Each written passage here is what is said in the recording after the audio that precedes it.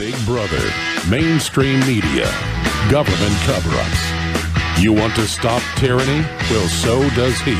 Live from the Infowars.com studios, it's Alex Jones. This is the truth. I'm left hanging my head and asking why. You do such a disservice when you lie about things like this. Why would anyone, especially an African American man, use the symbolism of a noose to make false accusations? I noticed the rope around my neck and I started screaming. How could someone look at the hatred and suffering associated with that symbol and see an opportunity to manipulate that symbol to further his own public profile? They called me. There's no which way you cut it. Bogus police reports cause real harm. The fact that we have these fear mongrels. The accusations within this phony attack received national attention for weeks. If I had said it was a Muslim or a Mexican or someone black, I feel like the doubters would have supported me a lot much more. So I'm offended by what's happened, and I'm also angry. Just remember that mine was reported right away. And look what has happened. This publicity stunt was a scar that Chicago didn't earn and certainly didn't deserve. So they get to go free and go about their life and possibly attack someone else. Smollett attempted to gain attention by sending a false letter that relied on racial, homophobic, and political language. Do you think there's a link between the letter and the attack? Um, and you did mention it to the police right away Absolutely. about the letter. When that didn't work, Smollett paid $3,500 to stage this attack and drag Chicago's reputation through the mud in the process. I will never be the man that this did not happen to. I am forever changed. And why? This stunt was orchestrated by Smollett because he was dissatisfied with his salary. If the attackers are never found, how will you be able to heal? Um, I don't know. But to put the national spotlight on Chicago for something that is both egregious and untrue is simply shameful. I still want to believe, with everything that has happened, that there's something called justice. February 22nd, 2019. I'm Alex Jones, your host. And I'm very honored that you've decided to jump through all the hoops and get past the censors to join us. All I ask you is you continue to spread the word about Infowars.com and Newswars.com and the live feeds, as well as the videos that we chop out of the broadcast and post to Infowars.com. And you never know what's going to happen. Uh, I was uh, joking around with Gavin McInnes last week here in studio about how I liked his open road gray, it's actually called silver belly uh, open road Stetson that LBJ wore. And so uh, one of the crew bought me one of these things. So I was wearing it around the office yesterday when I got back in and uh, threw it across the room, and it landed right on Owen Schroyer's head. But to Owen's credit, he compensated because I was about a foot off, but actually the hat began to boomerang right on time, so he moved back, and it went on his head perfectly. So most of the credit goes to Owen uh, for that incredible uh, landing. I mean, it, it, it even hit right side forward. Little bit, little bit cockeyed, but I'd still give it a hole-in-one status there. Ladies and gentlemen, let's have a little bit of fun. Let's get serious. I talk about things being Rosetta Stones or windows into things or skeleton keys. Means that they decode a lot for us. They cause the big light bulb to go off above people's heads. And the Jussie Mullet case, excuse me, Schmullet case, uh, is just absolutely disgusting, but absolutely beautiful at the same time. This is clearly a completely out of his mind, uh, virtue signaling, power tripping scumbag who thinks that we're all stupid, and he projects that onto us. So he pulled off this cartoon caper uh, that's now spectacularly blown up at the establishment's face, who doesn't want you questioning public events and tragedies. And now, all their fake hate crimes are on trial, and their attempt to silence you has failed. yes, Cobra. February 22nd, 2019, on this Friday global broadcast. Feels like a Monday morning to me because I've been on quasi vacation. That's why this Saturday, this Sunday, it won't just be the Sunday broadcast 4 to 6 p.m. that we've been doing for 11 years. I'll be doing all sorts of special transmissions. Robert Barnes, the amazing lawyer and amazing orator. Never seen anything like the guy. He can like just talk about any subject for an hour, just punch the button. He knows everything. He's going to be doing a special broadcast with me tomorrow. Times to be announced on that. Uh, very powerful first uh, podcast I did with Mancow Muller. He didn't release it for about a week. We're going to be premiering that on the broadcast, a special broadcast you know, I said I haven't listed a time. Let's just list a time right now. Let's say uh, 1 o'clock, 1 p.m. I'm going to come in with Barnes, and then I'm going to also air that uh, podcast. Mancow's going to let me premiere that and a lot more. Wow. Where to start? Tucker Carlson always does a great job. But today we have a double header. Makes me like him even more because one of these libtards videotaped him from the studio they were in you know, via cyberspace, telling the guy to F off and ending the interview. it just shows how real Tucker Carlson is. But the first one I want to get to gets into Smollett uh, because Tucker's always an A+, plus, but when he knocks it out of the park and does a 100, we got to air it. And, he, and, and, so this is one of those. I'm not going to air the whole piece. It's up on Infowars.com and PrisonPlanet.com and NewsWars.com. But he's talking about Jeffrey, uh, or whatever the hell his name is, Jeffrey Dahmer's uh, twin buddy. I don't know why Jeffrey Dahmer pops in mind, but I guess he, he's raping and zombifying the truth. Uh, you know, he's going out there trying to create uh, destruction in, in, the in the minds of the youth. Uh, no, no, Jesse Smollett, not not not Jeffrey Dahmer Smollett. Uh, this guy is the gift that just keeps on giving because the arrogance and the, the, the conscious deception and the enjoyment of lying on camera and the absolute relishment that he's engaged in and the doubling down is incredible. And then you've got a fellow kindred spirit in Don Virtue Signaling Lemon, both oppressed millionaires, both perched with their own you know, TV programs, talking about how horrible America is and how horrible their lives have been. Of course, Lemon goes on to say the only problem was this wasn't scripted right. He got some bad advice. It wasn't executed properly. And even his own leftist co-hosts are just stuttering and stammering and saying, no, it looks like Smollett did something really, really bad. Smollett wasn't doing this to get his pay increased. He was doing it as a giant publicity stunt. The pay increase is a side issue. He was just taking the the, uh, the, the fantasy land of mainstream corporate entertainment television that's all race war and whites are the devil and everything else and projecting it into the real world and engaged in street theater, which he knew that the corporate media would then lap up and regurgitate back onto everyone. Oh, the better part of this is CNN, uh, all the major corporate disinfo channels, they have been running around saying, well, thank God we never got this wrong. It was blogs and the internet that did. No, it was blogs and the internet that said it was as phony as a $3 bill, as a plastic banana, as the black glasses that uh, all those CNN hosts wear to make them look smarter. It's theater by people that couldn't get into Hollywood. That's all it is. And it's an intersection uh, of those two.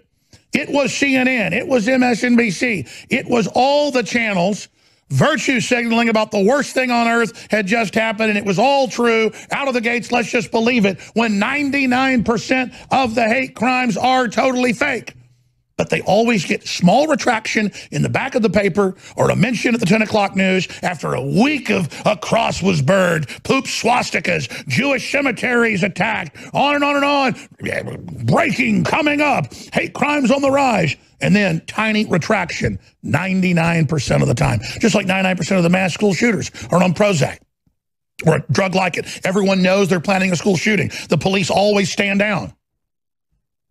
Same story over and over, same MO over and over and over again. This is societal sickness. But there's Smollett.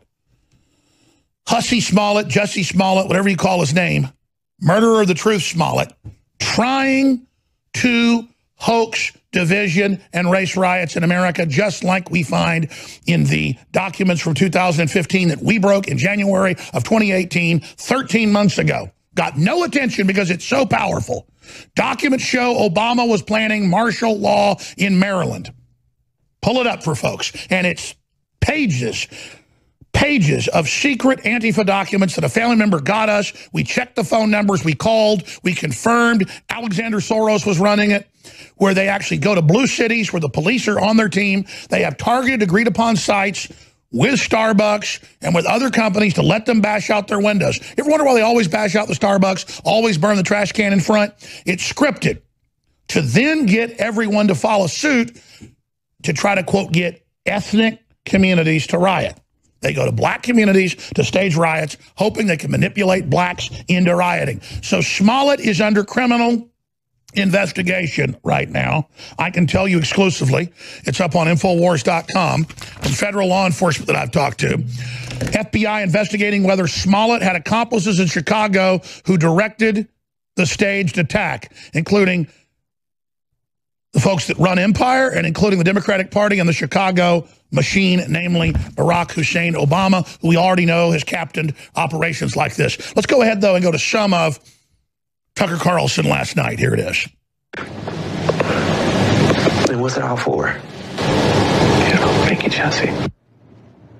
Thank you, Jesse. Well, before he claimed that white supremacists beat him up on the street, most people had never heard of Jussie Smollett. And after he became a victim, everybody wanted to be his friend. Here's Don Lemon over on CNN bragging about how he texts his new pal Jussie every single day.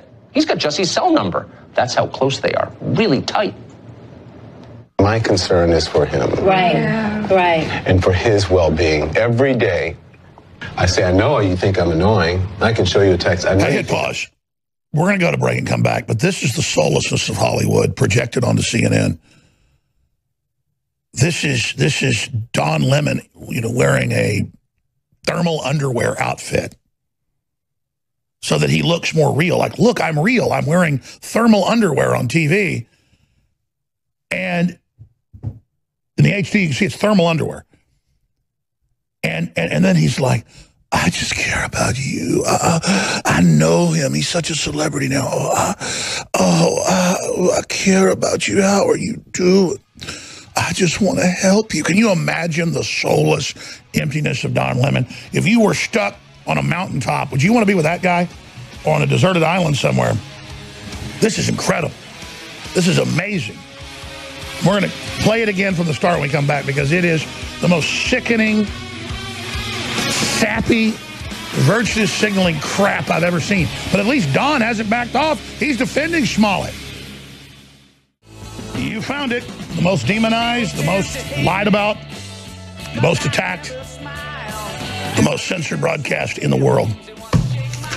A lot of good things are happening. The globalist false flags, staged events, that's their whole mindset, making themselves the victims, are being busted everywhere around the world, not just here. The problem is the globalists in any blue city, in any blue state, any blue sector, any left-hand path area control the police completely. And they'll do almost anything. Patriots owner Bob Kraft charged with soliciting prostitution. Bust on massage parlors in Florida. Acts captured on surveillance video. Unhappy ending. Arrest warrant coming. Meanwhile, they literally let Muslim men chop their daughters' genitals off up to age 12 in the U.S.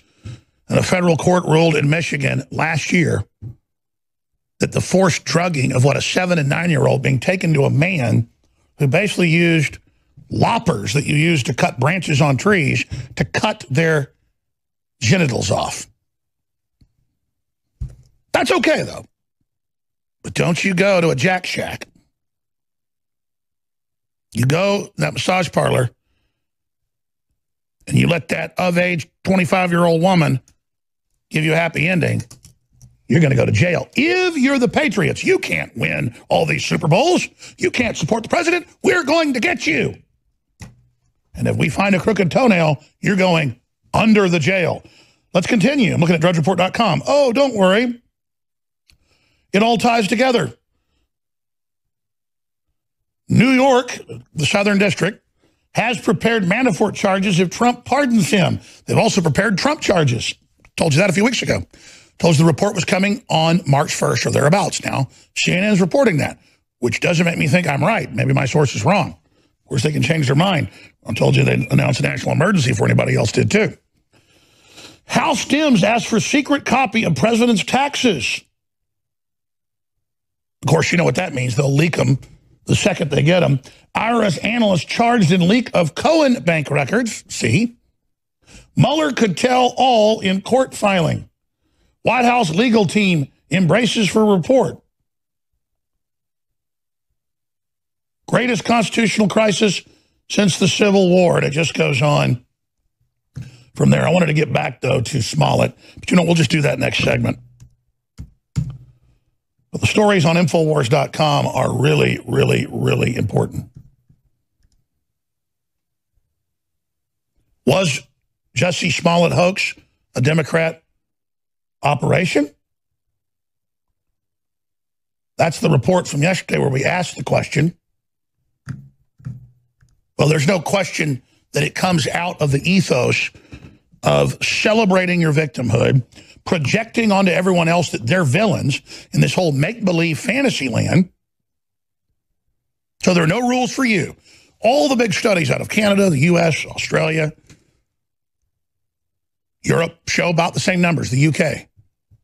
You can pull these up. Just, just type in, liberals are more mentally ill than conservatives. Leftist in studies, more likely to steal, more likely to virtue signal, more likely to claim they're giving to charity, but what is it, nine times more likely, depending on the study, not to. They don't give to charity, but they're way more often telling you they do. That's right. They are way, way more apt to steal, on average, six times more likely to steal if you identify as a liberal. They're more likely to lie on their entrance exams or on their bar cards saying they're a Native American when they're the whitest person walking the face of the earth. Scientists can't believe how white Elizabeth Warren is. But see, that's that's what I'm getting at here is we all know the truth about these people. They're total frauds, but it's a big report. People need to get this out.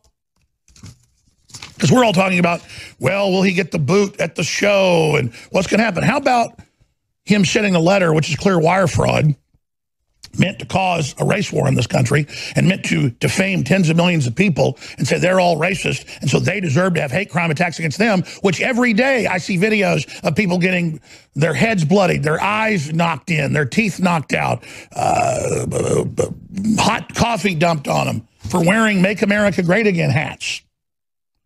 But none of that ever hits the national news. It's all how the poor black man making millions a year was out at 2 in the morning and two guys run up with a rope around his neck and scream, this is MAGA country and pour bleach on him and try to beat him up. But he fights them off. He's a hero. Cue the Rocky Balboa music. He's Apollo Creed, knocking out the bad guys. And the police show up 40 minutes after he calls them, and he's got the rope around his neck and two symmetrical scars, little tiny scratches on each cheek. I mean, how do you know when a banana's fake? You pick it up, you can't peel it, it's plastic. How do you know when a, a bill of U.S. denomination's fake? Because we don't have $3 bills. They open the door, and it's $3 bill man. I'm Plastic Banana. I'm Jussie Smollett. Or snake in a can. You open the can, a snake shoots out. It's not a real snake. How do you know? Well, it's it's polyester. It isn't a real snake. Well, that's a conspiracy theory. You're not allowed to have your own judgment. Just believe us. You saw him. And by the way, Trevor Noah has given an award for being a great actor. It was horribly fake, like when your kid gets caught doing something wrong, so they fake cry. My boyfriend said, honey, did not go to finals, did it?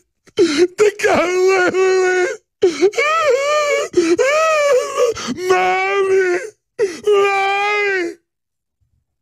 That's not real crying. He's out there talking about his dead grandma. All of a sudden, tears come to his eyes. No, it's that same Barack Obama thing where you get, the, there's no tears, but you've got the little, little handkerchief and you're like,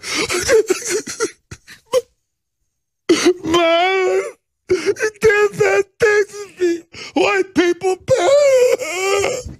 God. I mean, he looks like a little kid throwing a fit. It's totally fake. We're going to go to break.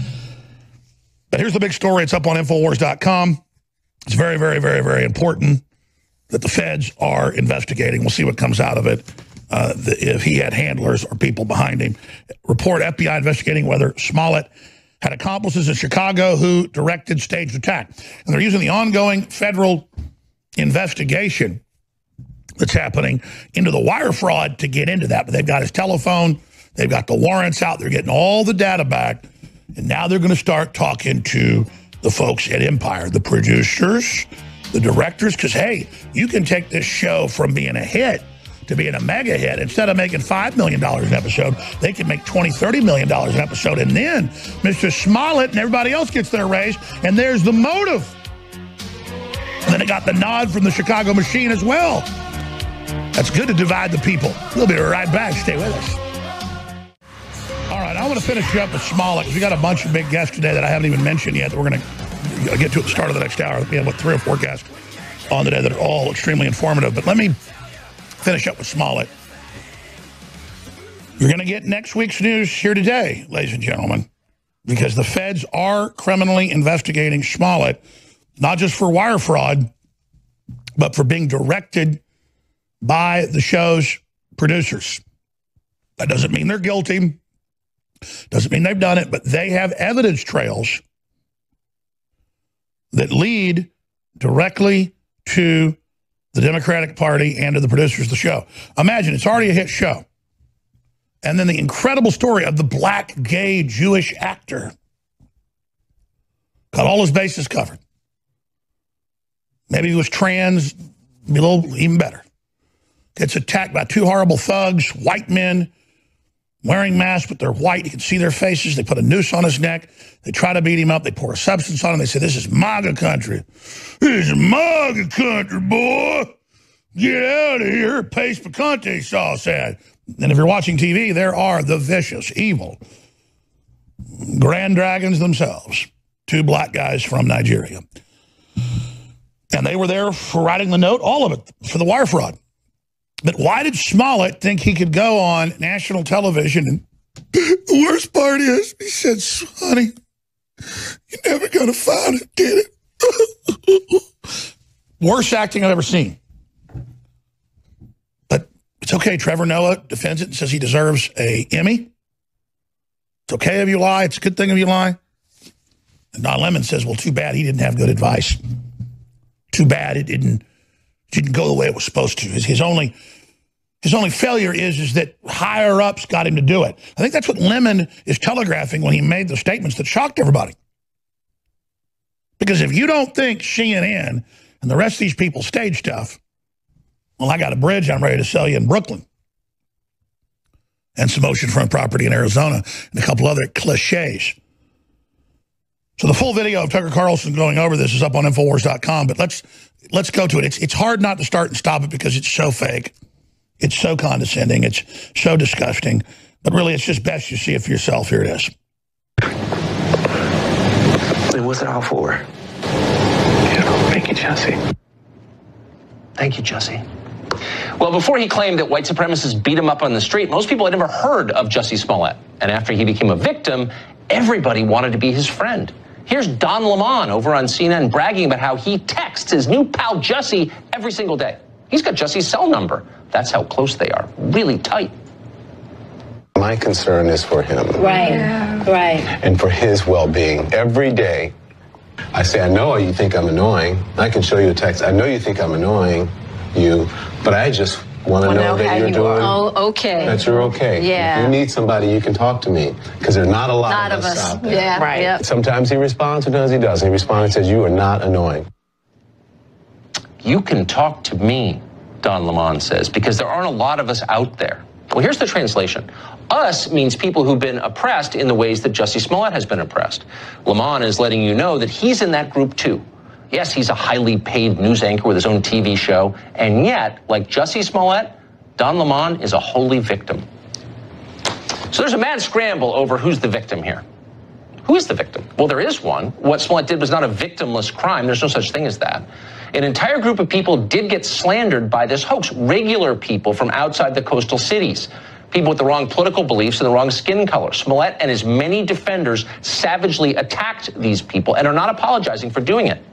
Instead, they're telling you, you hear this everywhere, that the real losers here are the authentic victims of hate crimes who won't be believed the next time. Okay, that's fine. But what about the innocent Americans they just poured venom on for two weeks because it matched some bigoted stereotype they had about middle America? What about them? There's no mention of them. Don Lemon would very much like to keep up those attacks on those people. Attacking them allows him to feel oppressed. That is why when Smollett was finally caught, Lemon reacted in a very puzzling way. He didn't seem especially concerned that his buddy had lied to further divide the country to hurt America, which he did. No, that wasn't the real problem. The real problem, according to Don Lemon, is that Smollett's arrest might discredit the cult of victimhood. This is playing out every single moment. Yeah. In cable news. Sean Hannity's going to eat Jussie Smollett's lunch every single second. Tucker Carlson is going to eat Jussie Smollett's lunch every single second. Yeah. Because when you tell the truth about a hate hoax, you're the real hater. What's the cost of this attitude so floridly on display to our society? What does it do to us? Well, think of it this way. What would happen to your kids if you woke them up every morning by telling them that they were victims? No matter how hard they worked, people would always hate them just for who they are. What if you did that? Would that be good parenting? Would it make your kids stronger, happier, more successful? No, it wouldn't. And good parents would never do that. Good parents tell their tell their kids that you're an individual and you can do anything you want as long as you're determined and focused and work hard enough. But if you look at the weird spirit that's on these Hollywood people, black, white, doesn't matter. It, it's, it's, it's a creepy arrested development.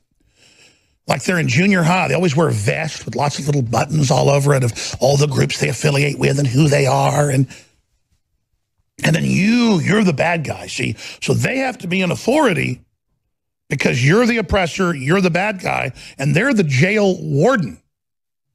Yeah, yeah, let's play some of these clips of so-called celebrities saying, how dare you question Jesse Smollett? This is a, a week ago. They were still saying, you don't question Jesse Smollett. And that's why there needs to be a bigger criminal investigation, which there is. There needs to be a bigger criminal investigation because this is premeditated and you know it is. And Jesse Smollett won't even admit he staged it yet. So what's he get? A slap on the wrist. And they say he did it for money. He did it for fame and power and to oppress whole groups that voted for somebody he didn't like. They did it to dominate and to frame America as bad while he gets fat off the tit of America. We've got a bunch of these compilations of Hollywood and the media saying, don't question Smollett, worshiping Smollett. So play whichever one you guys want. Here it is. We've got some breaking news. Actor and musician Jussie Smollett from the hit show Empire was attacked and beaten early this morning in Chicago. Police are looking for two potential persons of interest in a possible hate crime against actor Jussie Smollett. His attackers hurled racial and homophobic slurs. Two people yelled racist and homophobic slurs. Racial and homophobic slurs. Not only homophobia, we're talking about racism. We're talking about hate with steroids. The offenders uttered this is MAGA country. He said, this MAGA country punches me right in the face. They are looking for two suspects who were apparently wearing Make America Great Again hats. I'm disgusted by people who wear hats that say MAGA make America great again. I don't like that it's being put out there in the media that this is a right. possible yeah, hate crime. Right. I think that even sows a seed that makes people feel of like, doubt. well, is he making this up? The media has really cast so much doubt on his story, which I find so personally offensive that a gay black man is targeted and then suddenly he becomes the victim of yeah. people's disbelief. Yeah. We have a media that's saying it's a debate whether or not what just happened to Jussie Smollett is a hate crime. It's absurd. Coming from the President of the United States. He's dog whistling every day. Senator Cory Booker said the vicious attack on actor Jussie was an attempted modern day lynching. Kamala Harris calling the attack an attempted modern-day lynching. If his claims turn out to be a complete hoax, it would just be one. All right, folks, we'll be right back. I'm going to move into some other big issues here, but this is really blown up in their face. It's totally American. The question, what the First Amendment's all about. Monday through Friday from 11 a.m. to 3 p.m. Central, I'm here live. I'm Alex Jones, your host. Don't forget, the David Knight Show, 8 a.m. to 11 a.m. Comes on right before I do. Right here at Infowars.com forward slash show on radio and TV stations across the country. And the War Room with our own Owen Schroyer hosting. And then his co-host, who's been gagged, Roger Stone. Haven't even gotten to that point yet. We have the inside baseball on what happened inside the courtroom yesterday, where yours truly was brought up quite a bit. But we're going to have one of Roger's uh, Confederates, one of his writers, joining us, popping in later in between all these other guests. But let me bring up something here about the whole Jussie Smollett situation. While we're all busy fighting with each other over what color we are, or where we came from, or what religion we are, while we throw the free market and Constitution and Bill of Rights out the door, out the window, flush it down the toilet, throw it in the garbage can, the social engineers are dividing and conquering us. And of course, I'm putting out a completely known statement. People are like, yeah, tell us something we don't know. But while we're fighting with each other over stuff that really doesn't matter, it's important to expose it or they'll keep doing it. So the fact that they're using it to divide and conquer does matter. But in the final equation, it shouldn't matter. It shouldn't be an issue. If we were going to progress according to ideas and what we stand for and what we develop and what we build, that's how a world gets better, is that we all support and promote what is better. And we have to have a real debate about what that is. And then vote with our dollars, vote with our feet, vote with our actions. And that's what builds a better world. The problem is, is that the technocrats, robber barons, the last 150 years decided to have the end of history. And the final revolution, they use both terms, and to build a world that made humans obsolete, that first domesticated us, then controlled us, then reduced our attention span, then reduced our fertility, and finally implants cancer viruses in the vaccines that are time delayed to give you a good case of viral cancer when you retire.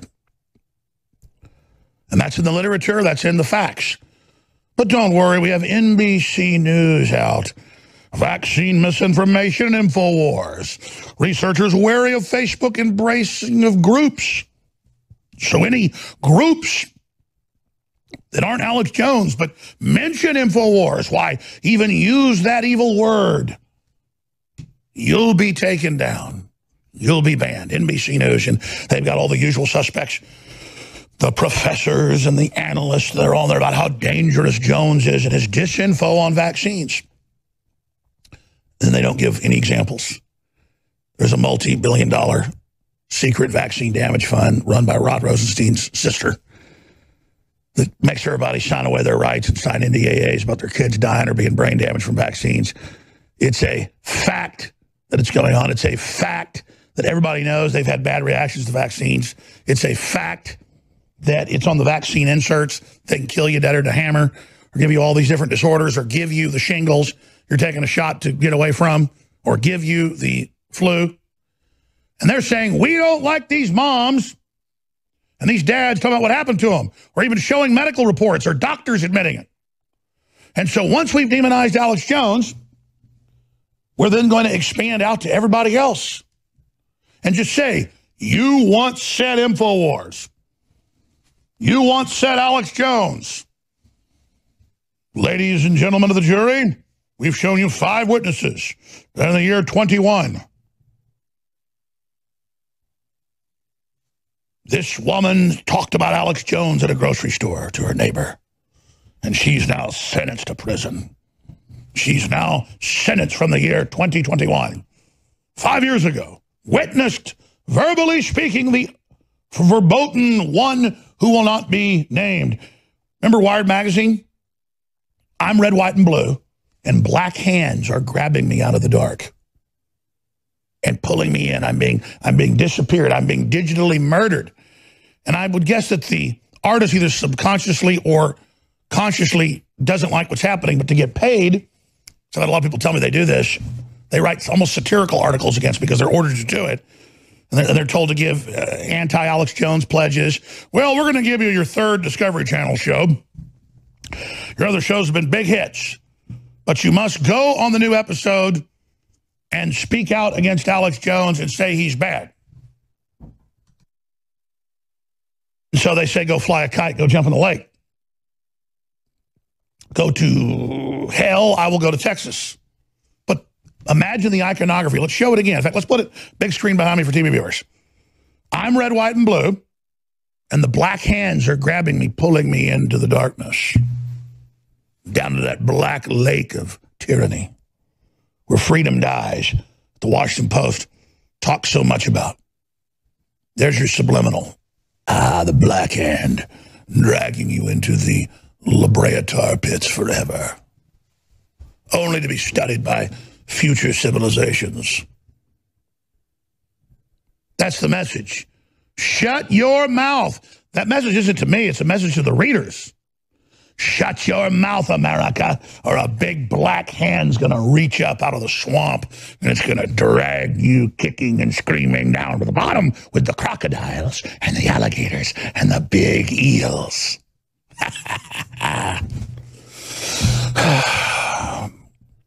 so maybe it wasn't a subversive artist. No, I don't think so. It was a message. America, shut up. You're going down. And nothing's going to stop that now. World government's here. And America's head's going to be mounted on that wall. That's period. That's end of discussion. That's the reality. So, some of the other news I have here, we'll get to next hour. The Communist Chinese World Social Score is already being used in Venezuela. Surprise, surprise. And it's already here and that's what this all is, is introducing you to where you don't buy or sell unless you're a good little globalist. That's all coming up next hour. Oh, and don't worry, you go through those drive-through now, you wonder why for the first time ever, the attendants get your order right the first time? It sounds like a human. It's not. It's AI. And again, everything's designed for a world without humans. That's the globalist leap. That's the world they're building. So it's all coming up next hour. Um, briefly here, as you know, I cannot stress enough, because this is like a long war. In fact, it's not like a long war. It is a long war. And so as the war gets more intense, we're here pointing out that you are what makes the info war possible. We've held that a long time thanks to you, thanks to your stamina, your support. And they think by demonizing InfoWars everywhere, you'll be afraid to talk about it. I would use the fact we've been so demonized as an incentive to say, hey, you probably heard of InfoWars and Alex Jones. Well, why don't you go find out why the media is so mad and why he's so demonized and what it is he's really covering? You know, I went to a Caribbean peninsula uh, for four days with my wife and children and just to get some sun.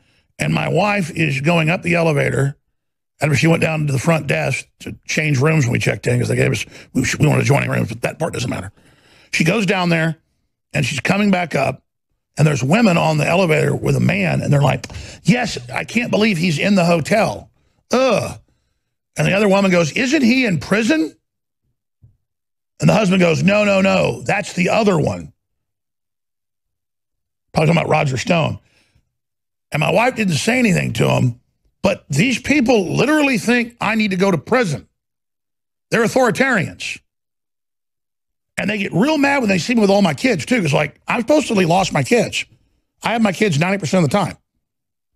So, see, they want the left to have these victories where they think, oh, we got that bad guy, or oh, he's off the air. But it shows what they desire.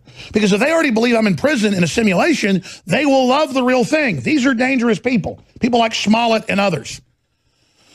So listen, when you buy the products, you make it all possible, but it's such a simple equation. You get your protein bars. Ours are high-end, five, six, seven dollars at Whole Foods, similar bars. Ours are three dollars regular price, two forty right now, discounted. You get two boxes, is even discounted more, and two great flavors, amazing high quality. Get your toothpaste from us, fluoride-free, colloidal silver iodine fortified.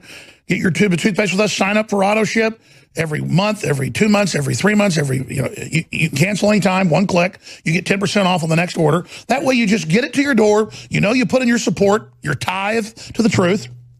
And you get your Wake Up America coffee. Sign up every month for that. You, you, can do it every 15 days if you want. It's got little default settings. You can uh, just know that you're getting great products and fighting the info war by getting your toothpaste with us, by getting your high quality bone broth with us, by getting your protein bars with us, by getting your fish oil with us, by getting your turmeric with us. It's all there at InfoWarsStore.com. InfoWarsLife.com is the subpage for the supplements or 888-253-3139. The fight continues on straight ahead. Stay with us. Martina Markota is going to be joining us coming up in the next segment. You know, the global digital cashless society isn't coming. It's here. And once they've got you in that position, they can socially engineer society any way they want. And major governments like Sweden and others are announcing plans to get rid of cash altogether by 2021 and to make everyone, quote, take microchips to drive a car or get on a bus. That's mainstream news. Infowars.com. Next decade's news today. And that's why they want us off air. She is coming up in the next segment. She has been deplatformed off of Chase Bank. You say, well, just leave Chase Bank. We've had five of the six banks we had taken. We had a A plus plus rating, the highest rating you can get from this private group that rates it out of Boston. But the day after PayPal banned us, they gave us an F rating for hate. And needless to say, the lawyers have asked me not to get to this yet, but this is the real lawsuit. The lawsuit isn't these big corporations and these big tech people censoring. That's bad enough. It's, it's big ratings agencies when you don't play ball and you have a perfect corporate credit score perfect. Perfect. Because we used to have the establishment try to do chargebacks and put them through and then see if we'd miss them to try to uh, uh, degrade us like 10 years ago. And I just said, hey, don't challenge the chargebacks. People want to scam us, you know, whatever. And, or if you do it, challenge them that day. And we have a perfect rating because we never hit the banks with chargebacks. Because you can do that. And so for, for actually being perfect, essentially, I mean, you're talking as good as it gets, gone, when one group just goes, we say, because the Southern Poverty Law Center is God, like Moses, and then Moses says Alex Jones bad, and then rating agency says, oh, he'll never figure out that dumb hayseed down in Texas that we're going to put a fraudulent F rating on him. He doesn't even know what our group is out of Boston. He doesn't know any of this stuff. He doesn't know we've got, he'll, he'll never get copies of our directives. Oh, there'll never be high-level bank heads that, that, that demand answers. There won't be any memos, just like the heads of the Oxycontin Corporation said we're going to get people addicted. In fact, I, I, I, didn't cover that two weeks ago. I, covered this years ago and warned people about it, but I didn't even cover it when I was proven right again. Will you guys print that up for me? Company that owns Oxycontin said, the headline was, we're going to be their one-stop shop for getting you addicted, and then we're going to have drugs to get you off of it that are almost as bad. Kind of like heroin was invented after the Civil War to replace opium addiction. We got, we got a lot of troops. They're addicted to opium from getting their arms and legs sawed off, and they're addicted to opium. What do we do? Well, we invented a thing, you know, that's 20, 30, 40 times stronger than the average opium. It's called heroin. And it'll sure as you won't want opium anymore after you have this. It's like, you got a problem snorting cocaine? Try something called crack. It'll fix it. Same deal. So that's the new thing is you've just got rating agencies where they just say, hey, we're going to say you're an evil person. Well, we're going to sue your ass off, bitch. So get ready for that. But I need capital to do it. Stay with us. Infowars.com, newswars.com. Tomorrow's news today. Stay with us. Well, Martina Markota is a fellow thought criminal. She's been on the show before. Very smart lady, also very lovely. And she's a, a talented dancer uh, and exhibitionist.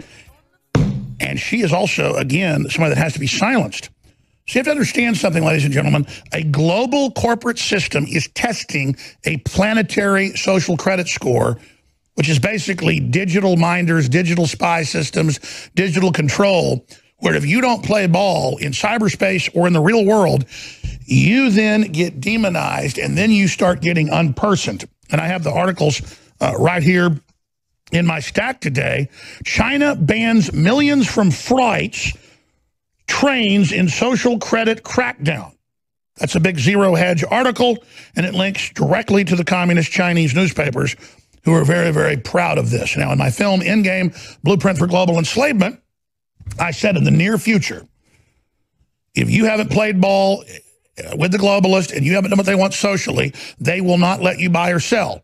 I didn't get that from the Bible. I got it from their own statements. But it is interesting that the Bible's coming true. It's either real or they're building it, which makes it real. See, either way, it's still real. It's incredible. So th this is the big threat to everyone. Banks not letting you bank if you sell hunting supplies at your hardware store or the NRA.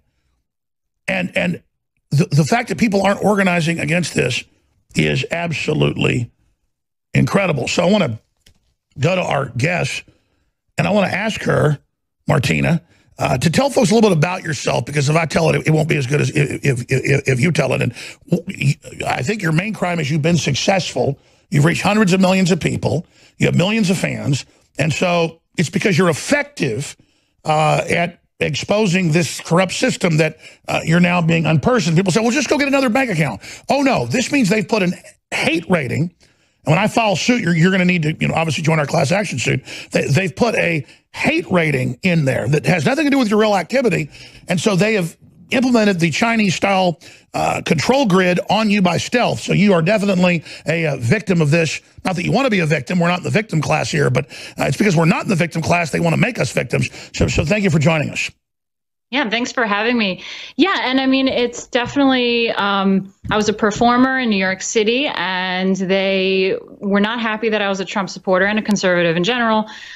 So they uh, blacklisted me, kicked me out of the scene, and they really went after my income that way extremely, extremely hard. So I had to move on and figure out what else am I going to do with my career. And the only thing, since my reputation was tarnished, was to get involved in uh, media and expose this stuff and, and just stick up for our side. So I've been doing that. So them trying to ruin my life didn't work as as well as they planned. So um, I actually have a business account with Chase. I've had it for eight years. It's an LLC. And um, so I talk about arts and culture because you know how important that is. Um, politics is downstream from uh, culture. And um, there's something called Comicsgate which is pretty much Gamergate, but in the comics industry. So there's a lot of people that went away from DC and Marvel's extreme SJW left wing propaganda with their failing comics. And a lot of these people went independent and they started going on Indiegogo and creating um, independent comics and doing it incredibly well. They have uh, went head to head with DC and Marvel, and they made like $2 million this, since this past summer, uh, cumulatively altogether. So uh, I wanted to keep pursuing my performing kind of persona, Lady Alchemy. So I did a comic book uh, with these Comicsgaters. And how um, dare you? yeah, and it, so the, my Chase business account is linked with that Indiegogo, and we did incredibly well. We're so far over thirty-four thousand dollars. Wow, trying uh, to raise money, trying to publish books. How un-American! Yeah. So when I got the letter that my um, business account is being closed down, I was really freaked out because I said, This is my one thing that I have. They tried to get rid of me in every single way possible, run me out of New York City, ruin all my career opportunities. So now I have this new opportunity amongst a group of the Comicsgaters that you know are doing incredibly well. So it's it's a really interesting thing because you know the left keep trying to tear us down, but the one industry, ironically, that we are kicking butt in is the arts. It's the comic book industry. So we're doing really really because well. the left and, aren't the uh, left. They aren't the liberals. Them. They're not creative. They always pose as if they're the real liberals and they control art because they're the opposite of a real liberal. They're leftist control freaks who destroy civilization. So that's why they always want to be in charge of the arts and in charge of speech is because they don't have any talent. Yeah, and I think that they're really afraid because this Comicsgate is doing so well. Um, they they really try to shut us down all the time. They keep going after a lot of the big independent creators, trying to shut them down. Um, you know, go after them, and they've been fighting it. They actually one of them did a tortious interference. So when you go after them legally, that shows them they can't do this.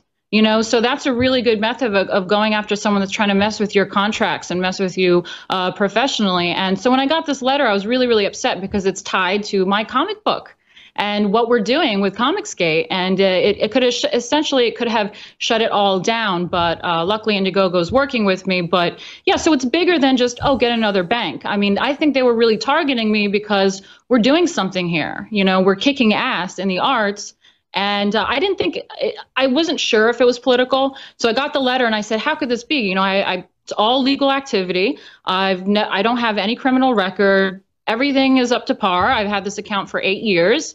Why is this happening? And so I called them and uh, they wouldn't tell me why. They said that they have the right to, if you see the letter, it says, uh, we're ending our relationship with you. and I was like, okay, my bank is breaking up with me. Well, I'll tell you and, the problem. Uh, Let's scroll back up to the top.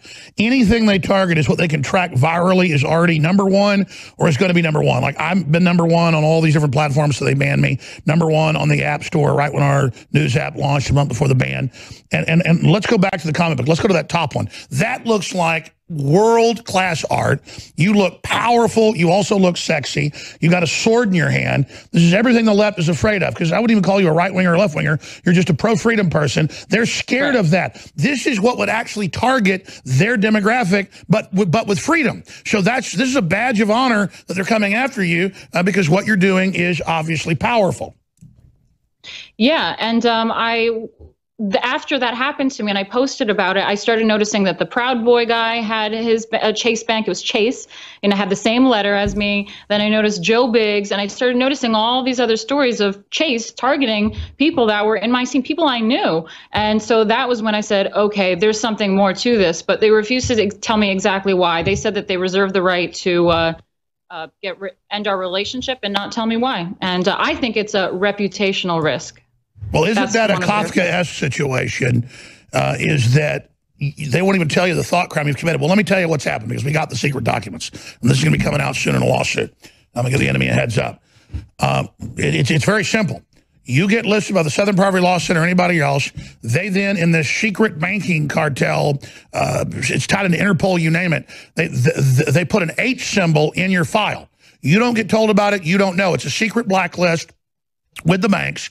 And then it's going to move on to, I'm sure you've heard about Uber banning people, uh, these uh, different Airbnb groups banning people. Yeah, that happened to me. That happened to me in D.C. too, actually. My Uber just stopped working at one point. Yeah, that's it. And so that they've got a database of the Chinese socials credit score that they go put a, a, fraudulent like conviction on your record. A secret court, a secret file, a secret database out of Boston they go put it on the file, and then now other groups are joining it. it it's it's like InfraGard. It's, it's, it's part of the FBI. And then as other groups join it, sure, there's secret lists for Al-Qaeda or ISIS. It's the same thing. You've been put on an ISIS list. I believe it. I truly, truly believe it. And I didn't want to get into that. And I didn't want to assume and go, oh, it's because I'm a free thinker that this is happening. But um, the evidence is really starting to show that uh, they're really targeting us. And uh, it's really scary because going after your bank account, going after your business is serious. Well, this is the good news. It's so criminal, they keep it secret. It's not going to be secret much longer. You understand? I've got more lawyers flying in today. We're going to decide when and how, but I'm giving the enemy heads up. We're getting all the witnesses, all the documents. We have everything. National scandal. Stay with us. Jussie Smollett, if his false flag would have been successful, now under criminal investigation by the FBI for higher-ups directing him in the Democratic Party, as well as the people controlling the hit show Empire. It'd be an even bigger hit if the hoax would have been carried out. But it was too obvious, too childish, and too well documented. But imagine if he'd been successful. Now, everyone with a red hat, every white person, we're all horrible race criminals who deserve to have our bank accounts taken, who deserve to be shut down, who deserve to be made to submit until we're offered the road to redemption. Last week, I had three very high-powered people call me, two of them household names, and they said, Alex, there's a road for redemption and there's open arms. I'm sorry. I'm sorry. It's just that we have to admit how bad this is. We're going to go back to our guest. I want to ask her to ride shotgun into the next segment if she can with Faith Goldy because they're both going through the same crap because they're smart, good-looking women that scares the hell out of leftists. They want a bunch of victims they control. Uh, with a bunch of chicken neck weird feminists dominating them, making sure they're miserable as possible uh, and not using their feminine power. But let's go right back uh, just real quick to uh, Smollett and all of his fake garbage. Here it is. Let's, um, I was talking to a friend and I said, I just want them to find them. And she said, sweetie, they're not to find them. And that just made me so angry because, so I'm just to be left here with this? You know what I'm saying? Like, I'm just to be left here with, with like, so they get to go free and go about their life and possibly attack someone else. And I'm here to left with the, left with the aftermath of this bull. Yeah. That's not cool to me. That's not okay. So I understand how difficult it will be to find them. But we gotta I still want to believe with everything that has happened that there's something called justice. Because if I stop believing that, then what's it all for? Thank you, Jesse. Thank you. Thank you. Beautiful. Thank you, Jesse. Oh my God, Jesse, this is so hot right now. Meanwhile, the UN openly funded with Obama the murder of hundreds of thousands in the Arab Spring, tens of thousands of women and children in sex slavery. You got it, Madeleine Albright on TV saying 500,000 kids are a good price to pay for, quote, security in the Gulf. There's no thank you, Jesse, to that. So going back to our guest, uh, who has been basically unpersoned uh, off of her bank account, Martina Markota, who's at Twitter for now and Instagram at Martina Markota, M-A-R-K-O-T-A, and martinamarkota.com. Uh, again, you're involved in hit comic books. That's your real crime because most people don't get their news even from Comedy Central anymore. They get it from the comic books. You're breaking into verboten, archetypal, Joseph Campbell uh, type symbolism and alchemy, and that's really your crime, isn't it? Yeah, yeah. I'm actually also in a Trump Space Force. I think you know Timothy Lim and, and them. So uh, check out check out that. But uh, yeah, no, my book has uh, the occult symbolism of the elite, and my character is like she becomes red pilled and discovers the hidden influences of media and advertising uh, that's saturated in cities and stuff like that. And so it's about exposing that sort of thing. And um, you know, I think it's super fun. It's it's not very much like leftist art where they go out of their way to make sure you see their SJW agenda. It's just fun for anyone to watch, but I am kind of secretly, hiddenly exposing some things. And again, it's the delivery system they really hate. So, so, so where do you go from here? Because obviously we'll need to talk soon because we are going to have to file suit against these folks. I mean, this is yes, a big yes. national criminal operation. Think about when the public learns that there's a secret database and they're preparing to put all conservatives on it. Yeah, I truly believe that. And I cannot believe that that is really something that where we're at today. I mean, I remember watching you many, many years ago talking about this sort of stuff when you had Billy Corgan on. I've always liked, you know, the arts and stuff and, and watching you. So, uh, it, I, you were saying stuff about this years ago, like 10 years ago. And here we are today. And it's, it's not even a conspiracy. It's, it's real life. I mean, it's happening to me now. And, um, I don't know. Uh, we definitely have to do something. I have to switch my bank accounts and transfer tens of thousands of dollars and make sure Indiegogo is updated with my new bank account. So they've given me that little extra burden to do. So, yes, of course, I can change banks. Um, but ultimately, people were saying there's some sort of law, like there's there's some sort of association with the government that Chase has. So this actually can be, it is illegal. It's not like there's oh, just like a private. Listen, the database, when there's no law to create a designation that's just random put on your account to say you're a bad person and, and then to put on your credit uh, that you're a bad person, I mean, that's yeah. fraud. Is, is, is, I mean, that's defamation. What that is is an attempt to tortuously interfere and ruin your life uh, because yeah. Listen, I'm sure you've, you've asked, how did you get targeted? You know about sleeping giants and, and all these other groups. The left goes around brigading And so they've yeah. already, they think, knocked me into the ground. So now NBC reports anyone just saying InfoWars or Alex Jones is next. That's NBC News. Anyone criticizing vaccines, like, hey, my daughter got killed from it, or, you know, my, I went blind from it, or look, the insert says it can kill you. That's all going to be banned. It's just basically everything. And so the media's new job, these journalists aren't really journalists anymore. They organize brigades of leftists to make millions of phone calls and emails to target each person. So they also harass companies till they do this. Yeah, I mean, I've seen that in my performing professional career, them brigade and do that. But I think that um, I have an association with Gavin. You know, people associate me with being on Gavin's show and stuff like that. So I think that's probably why my account was. Oh, exactly, because they're really scared of Proud Boys. Why do you think they're so scared yeah. of Proud Boys? You would dare go on the Founders show? I mean, guys that stand up to people that beat up women and children and and defensively defend women and children. There's nothing worse, is there? No, I mean trying to uh, venerate the housewife and just have a simple like little men's club. I mean, what's wrong with that? You can't have a men's club nowadays. it's insane. But yeah, I'm associated to him, and so now everyone just constantly. They've been doing it in the Comicsgate too. They they've been targeting and saying she's a proud boy, even though I'm a woman, um, and trying to say that that's reason why I'm some sort of Nazi or white supremacist or something. Well, so. I mean, you're not anti-male, and so that's why you're bad. Yeah, yeah. No, I you know, I support men for being men, and uh, I have a totally different duty as as a woman, and uh, I, that's what I portray in the comic books as well. That's what's been going on in the scene. Is that I don't know if you've noticed, but they've been trying to defeminize women in the comic book industry. Well, yeah, let's talk about that when we come back. Start getting into that. They want to take the real power from women and create these right. sexless blobs. And and why right. is that? Because they don't want men being powerful men. They don't want women being powerful. They don't want us in our powerful roles. Yeah, it's just one big hodgepodge of uh, non non-gendered things, and they get very angry about it in the comics industry. They don't want women to be feminine. And I think that's the most anti feminist thing I can think of. Well, my wife walked out of the house today in a black trench coat and black high heel boots. And I thought I was going to fall over. I mean, she knows about the feminine and just uh, is dripping with it.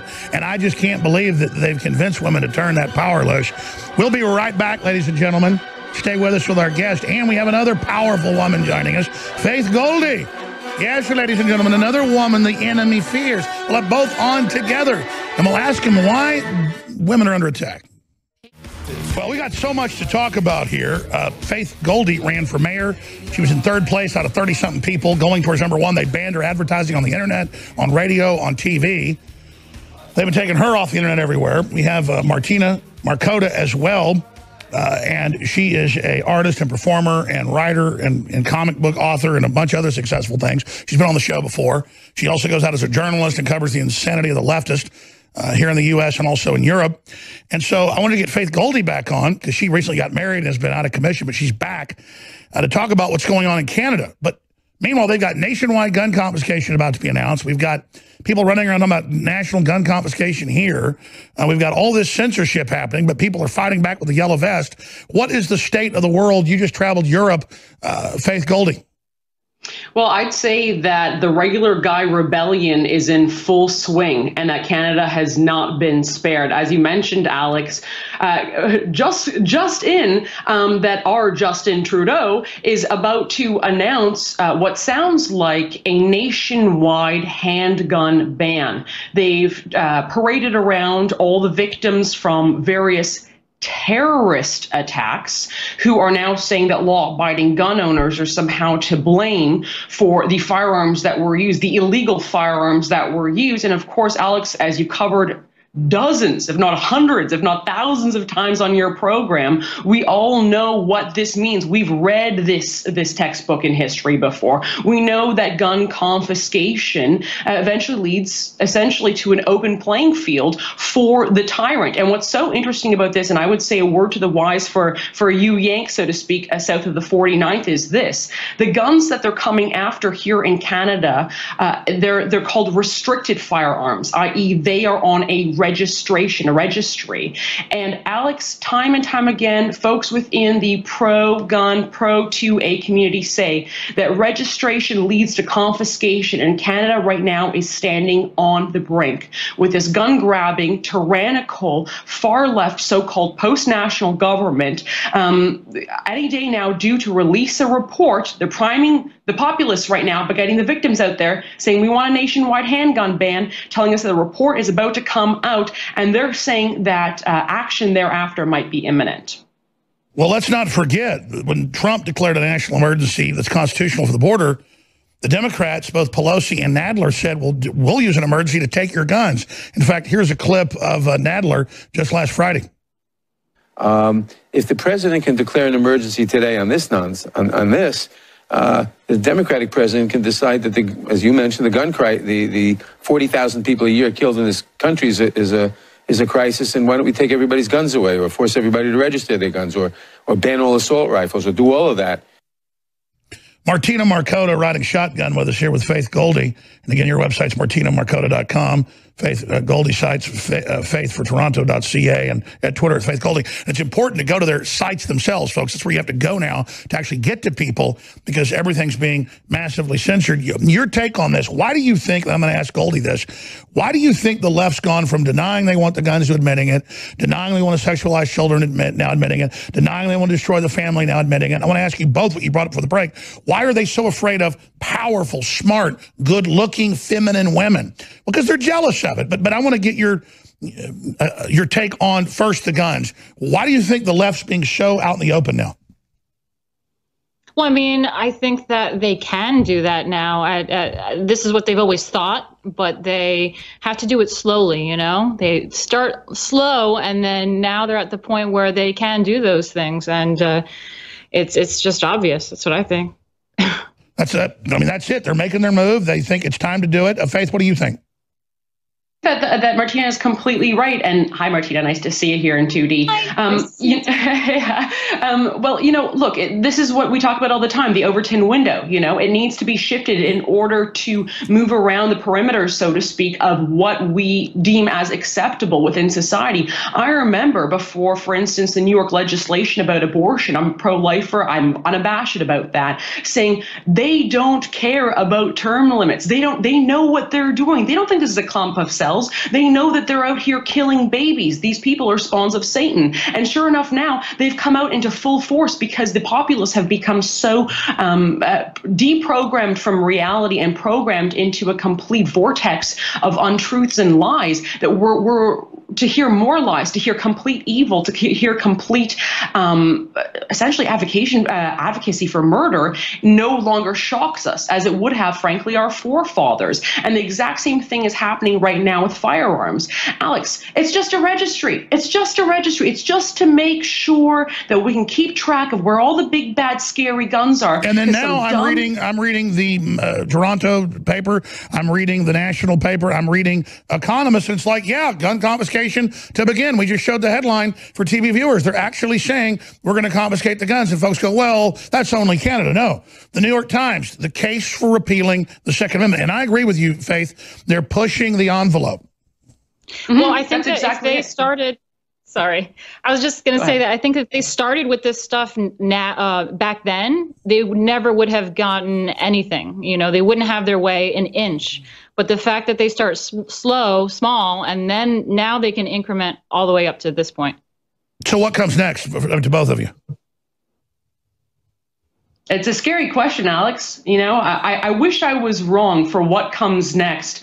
Um, my answers along the way, my 10 years of reporting, journalism, commentary, I wish I was wrong every time I try to warn people of what comes next. But let me tell you, we now have an international both temporal and frankly, as far as I'm concerned, a spiritual war between good and evil. And they are now personified as the nationalists versus the globalists. And the globalists are damn terrified because of organizations like yourself, like where Martina is, with the Daily Caller, with the Rebel Media, with with the democratization of data that is slowly pulling people from the matrix and saying, hold on a second, we've been lied to. Hold on a second, all this do-goodery that we've been saying that we've been doing for the rest of the world is actually having a negative effect on your family, on your community, on your country. And what happens when when the powerful feel threatened is that they begin to do things like censorship, like taking away those things which make us, the little guy, the regular guy, frankly, the masses powerful.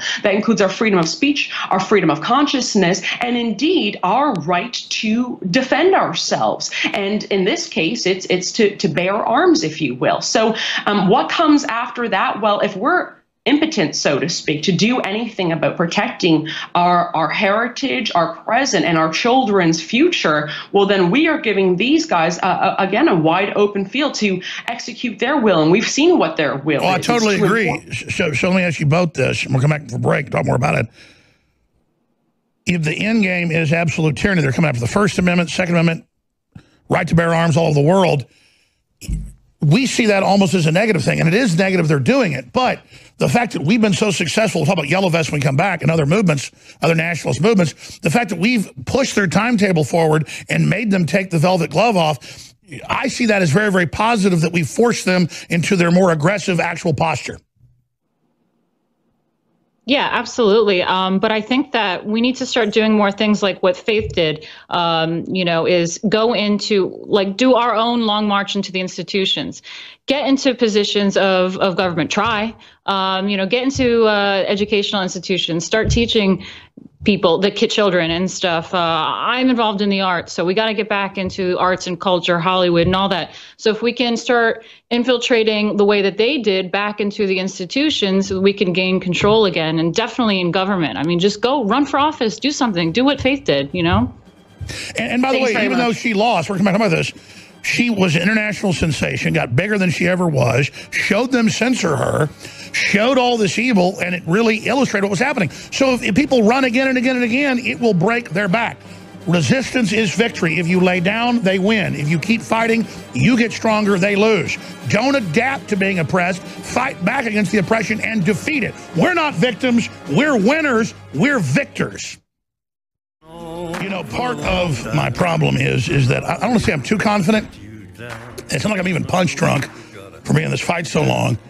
I just have seen so many times God pull our bacon out of the fire that I almost just get, I don't want to say even lackadaisical about we're trying to row the ship to shore and there's holes in it and the water's right up to the edge of the top of the boat. We could go under any minute, but I, am just confident we're going to make it to shore thanks to listeners and viewers' support. Understanding we literally are one of the main beacons of truth and justice relaunching Americana, relaunching uh, your basic human systems of success, relaunching men being men, women being women, and, and, and true, free, open societies, not the authoritarianism uh, of the globalists.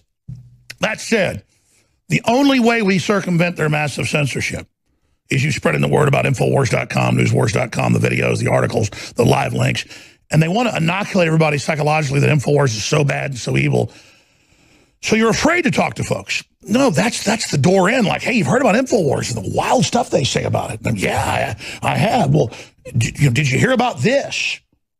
Where George Soros said that we're in a war with China and the U.S. is going to win and that um, Trump's unbeatable. Oh, no, you didn't see that. That was a prospectus to big bankers. Well, Infowars.com has his actual statement. You see, the globalists are losing.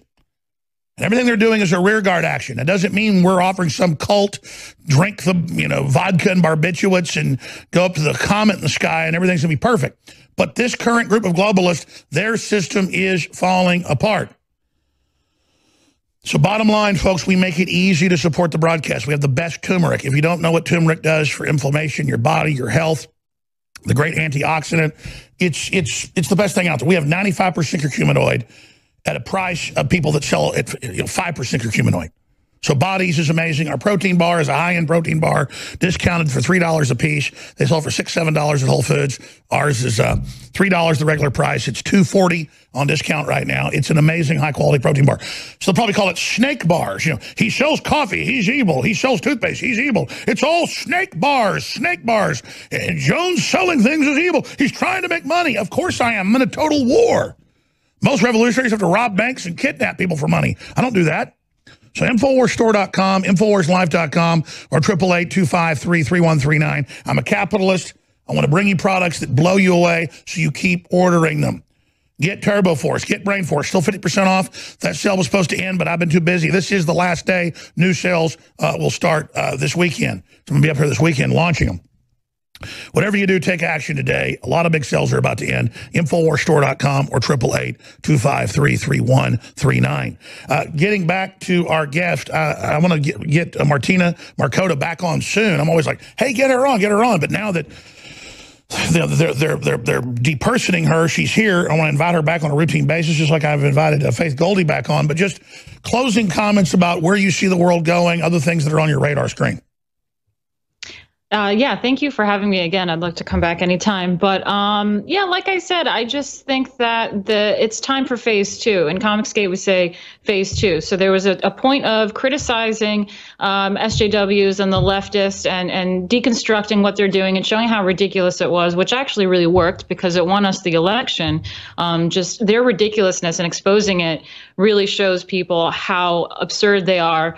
But then there's phase two, which is create. You know, let's build the world that we want to live in. So, um, you know, I think that's what you're doing with some of your products and stuff. You're not just letting them make the products. You're you're making the kind of products you want to live in. And uh, what I do in the arts, I just want to do the arts that I want to do. And Faith is really talented at doing what she does. So she everyone should just find their skill and their craft and what they have to offer the world and and push that out in there into the world instead of just being reactionary. And people can find that different, beautiful world you're building at martinamarkota.com. Uh, just amazing work, Martina, and we look forward to speaking to you again very, very soon. Thank you. Bye, Faith. Bye. Faith, what she said is simple, but the simple is the most profound. We can't just be criticized how fallen and pathetic the globalist left is. We have to build that better world, which we're trying to do. I think also we have to be unafraid to be bold and to exert some sort of strength, by which I don't mean I'm not calling for a physical revolution per se, but know that we are on the side of justice and truth and that we are fulfilling the destiny that our forefathers had envisioned when they first planted the seeds of the nations that we now exist in. And to walk boldly, don't let these, these serpents, these lizard people, um, bully us into submission, to bully us into thinking that we are these these horrendous names that they call us racist white supremacists all these things are just tools of oppression to keep us uh, quiet to shut us up. We have to be bold and proclaim the fact that that that we are walking in truth that loving your country loving your family all of that is natural. All of that is healthy. And hating the idea of erasing your borders and moving towards um, more globalization um, is also okay. So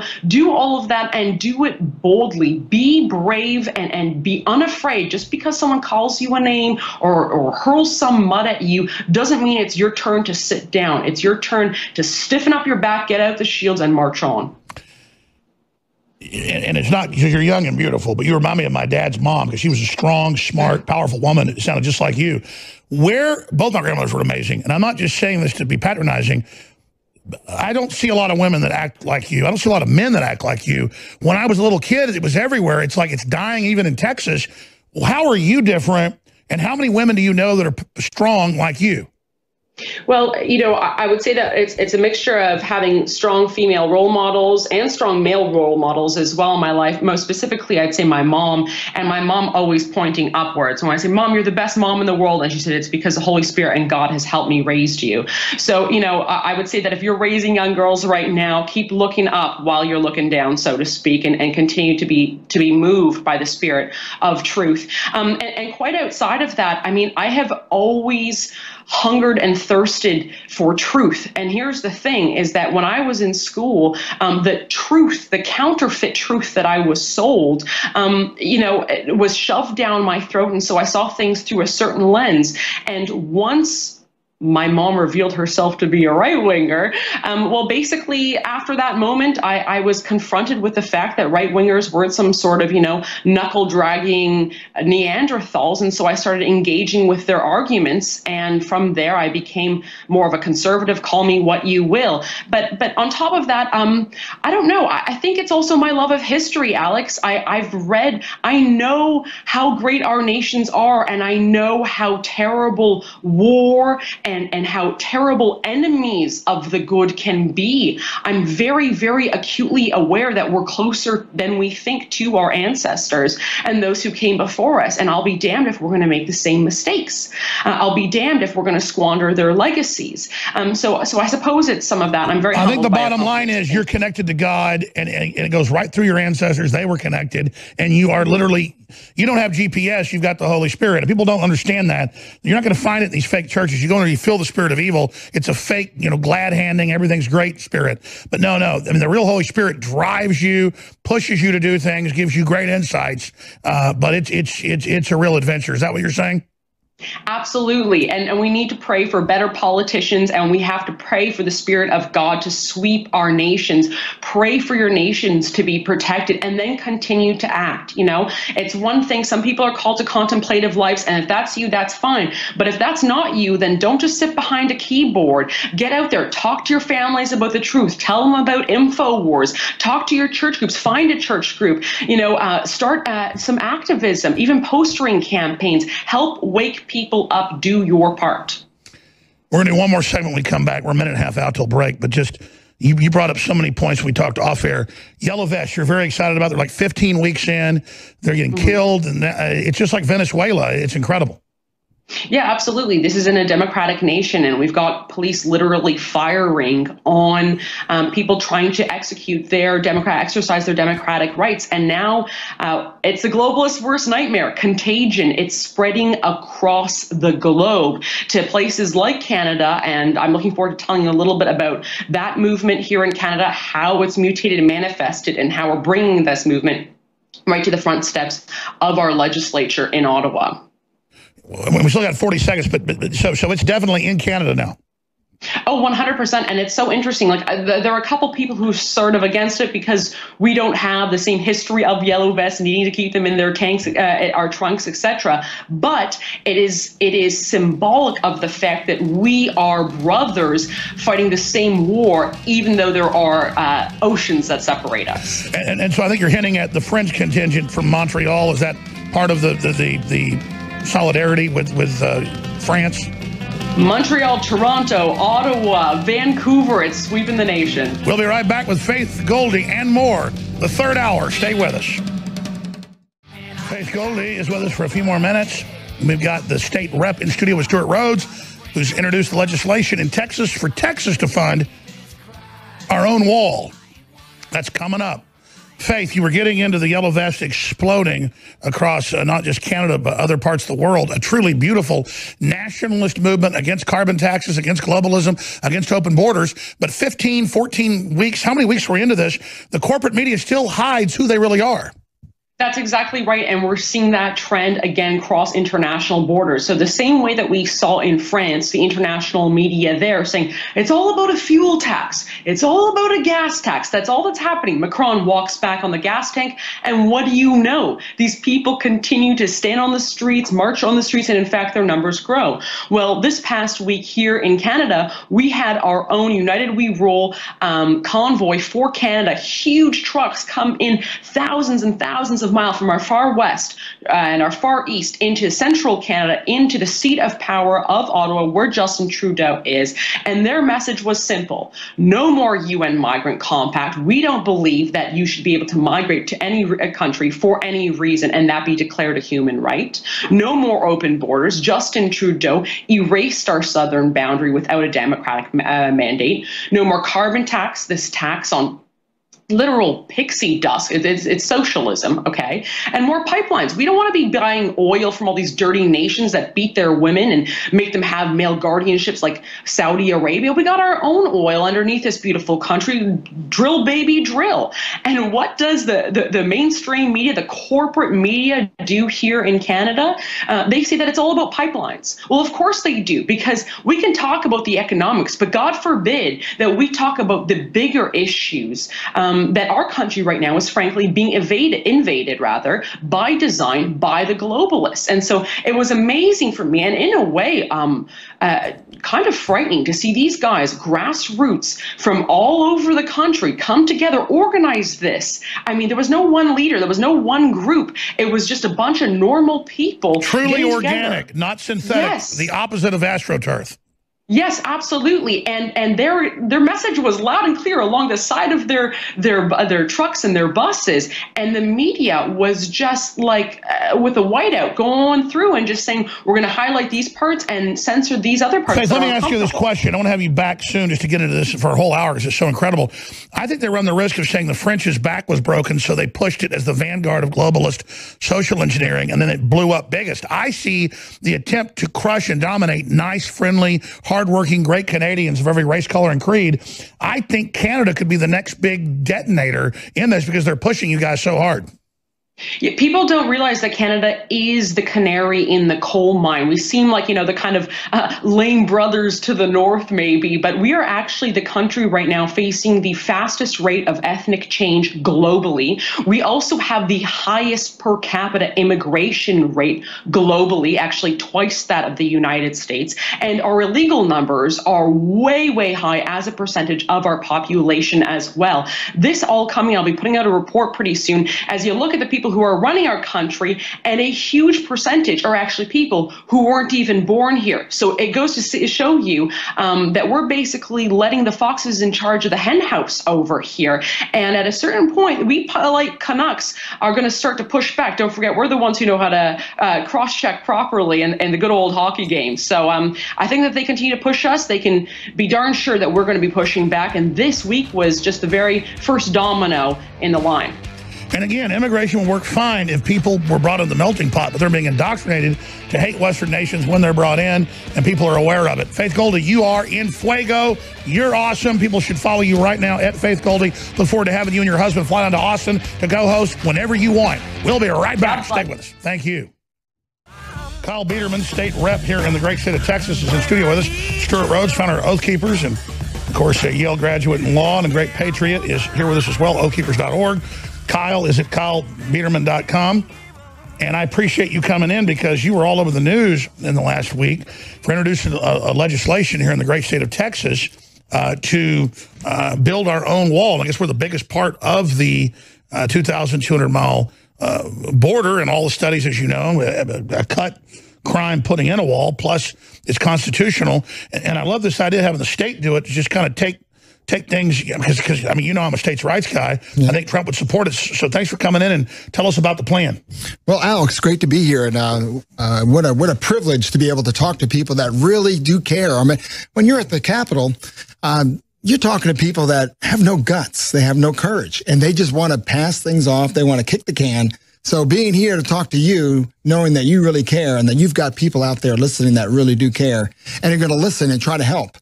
But um, I'm glad you say that. The power of the show is the audience. Yes. I mean, they're it. Mm -hmm. That's exactly true. And the power for me are my constituents. And so, in fact, today um, on uh, Texas Tribune, they're talking about how the border is not that important for the state of Texas and for the people of Texas. And yet they just came out with a um, with a poll, Texas Tribune and the University of Texas, which, you know, two not very conservative outfits and the number one concern for the people of Texas, the number one concern for the people of Texas is illegal immigration. Number two is border security. And then number three is not even education. Yet that is what we're talking about this whole session is education. But the number one and two of the people is not what we're talking about. So obviously at the legislature, uh, we don't have priorities where the people feel the priority is for Texas. And so that's why it's so important for somebody to stand up and have the courage to speak out and say, this is the priority of the people of Texas. This is who we represent. And if we don't get this done, um, they're going to come after us. And I, I hope they do. But uh, well, let's talk about the logistics of that because it's in the Constitution. And when we talk about a wall, it doesn't need to be everywhere, but these in these key areas, we know it just stops the massive smuggling, the you know the human trafficking, people pouring across the border. Yep. So, so, as a, as a representative here in Texas, describe what your constituents are telling you, what the border patrol is telling you, what the what the state police are telling you. People don't understand. Texas is right on the area with the most failed area of Mexico, and just the level of carnage we're talking about. You're exactly right. And, you know, Texas has actually spent almost $4 billion of the taxpayers' money over the last eight years on border security, but we really didn't get border security. We just sent our law enforcement, our DPS, down to the border to catch and release and hand them over to ICE. And so we didn't really get much for our money. So under Obama, they just became delivery people for illegal aliens. That's exactly right. That's exactly right. And so what we're doing is pointing out the fact that if we're going to put another billion dollars in this session, which we will be, uh, 800 million for sure, uh, what are we going to get for that? We're going to, again, send down our border security, send down, I mean, our DPS, send down our law. As high priced taxi drivers. Exactly. Exactly. And that's, and that's a shame. So we need to, as Texas, we're the ones that are paying the penalty. We're the ones that are paying the penalty for, for drugs coming into the country, for human trafficking, for our education system, our jails, our prisons are all being taxed. And I mean, we know this. that. The UN is funding the breakdown of national sovereignty. They go, oh, conspiracy theory. That's their own statement. And I think if we don't address the real crisis, people don't get what this is about. It's about breaking our borders. That's exactly right. And you know, with our broken borders, it's not just Texas, it's the rest of the country. So with our bill that's come out, and of course with a lot of the publicity we've gotten, uh, there are actually other states that are saying we want help. And so part of our bill is to have an area, an, uh, an opportunity to get gifts and funding from other sources, other people, and of course, other states. Oh, that's beautiful because states can look at their budget and tell illegal aliens, anchor babies, the criminal cost is tens of billions even for smaller states. They know that, hey, that'll help. You better believe it because they're paying the penalty for us not securing our border. But, you know, the big thing is most people say, oh, it's a federal issue, so the states need to stay out of it. Well, when you've got a broken federal government that hasn't done what they're supposed to be doing for all these years, the states have to take over. And that's all right. Well, Representative, thanks for introducing this bill. Let's come back and talk about on the other side and, and, and the real cost of open borders with a failed third world nation. We'll be right back. Stay with us. State Representative Biedermann is here in studio with us. And I appreciate him joining us with Stewart Rhodes. I remember back when we were exposing the TSA groping of children which they then backed off of. We got it to pass in the House, but not in the Senate. Regardless, though, this can really catch wildfire if people get involved, they get excited. You were telling me during the break something huge we'll talk about at the end of the segment and then cover next segment that's as big as this or even bigger about them trying to turn the state blue. Uh, but Representative uh, Biedermann, please continue with your move, your bill to uh, help the feds build the wall and how that would work. Well, first of all, we've got to um, find out where the funding is going to come from for the state of Texas. So we have a a large uh, rainy day fund. Uh, we've got plenty of money in there. The problem with that is it takes two thirds of a vote on the House floor.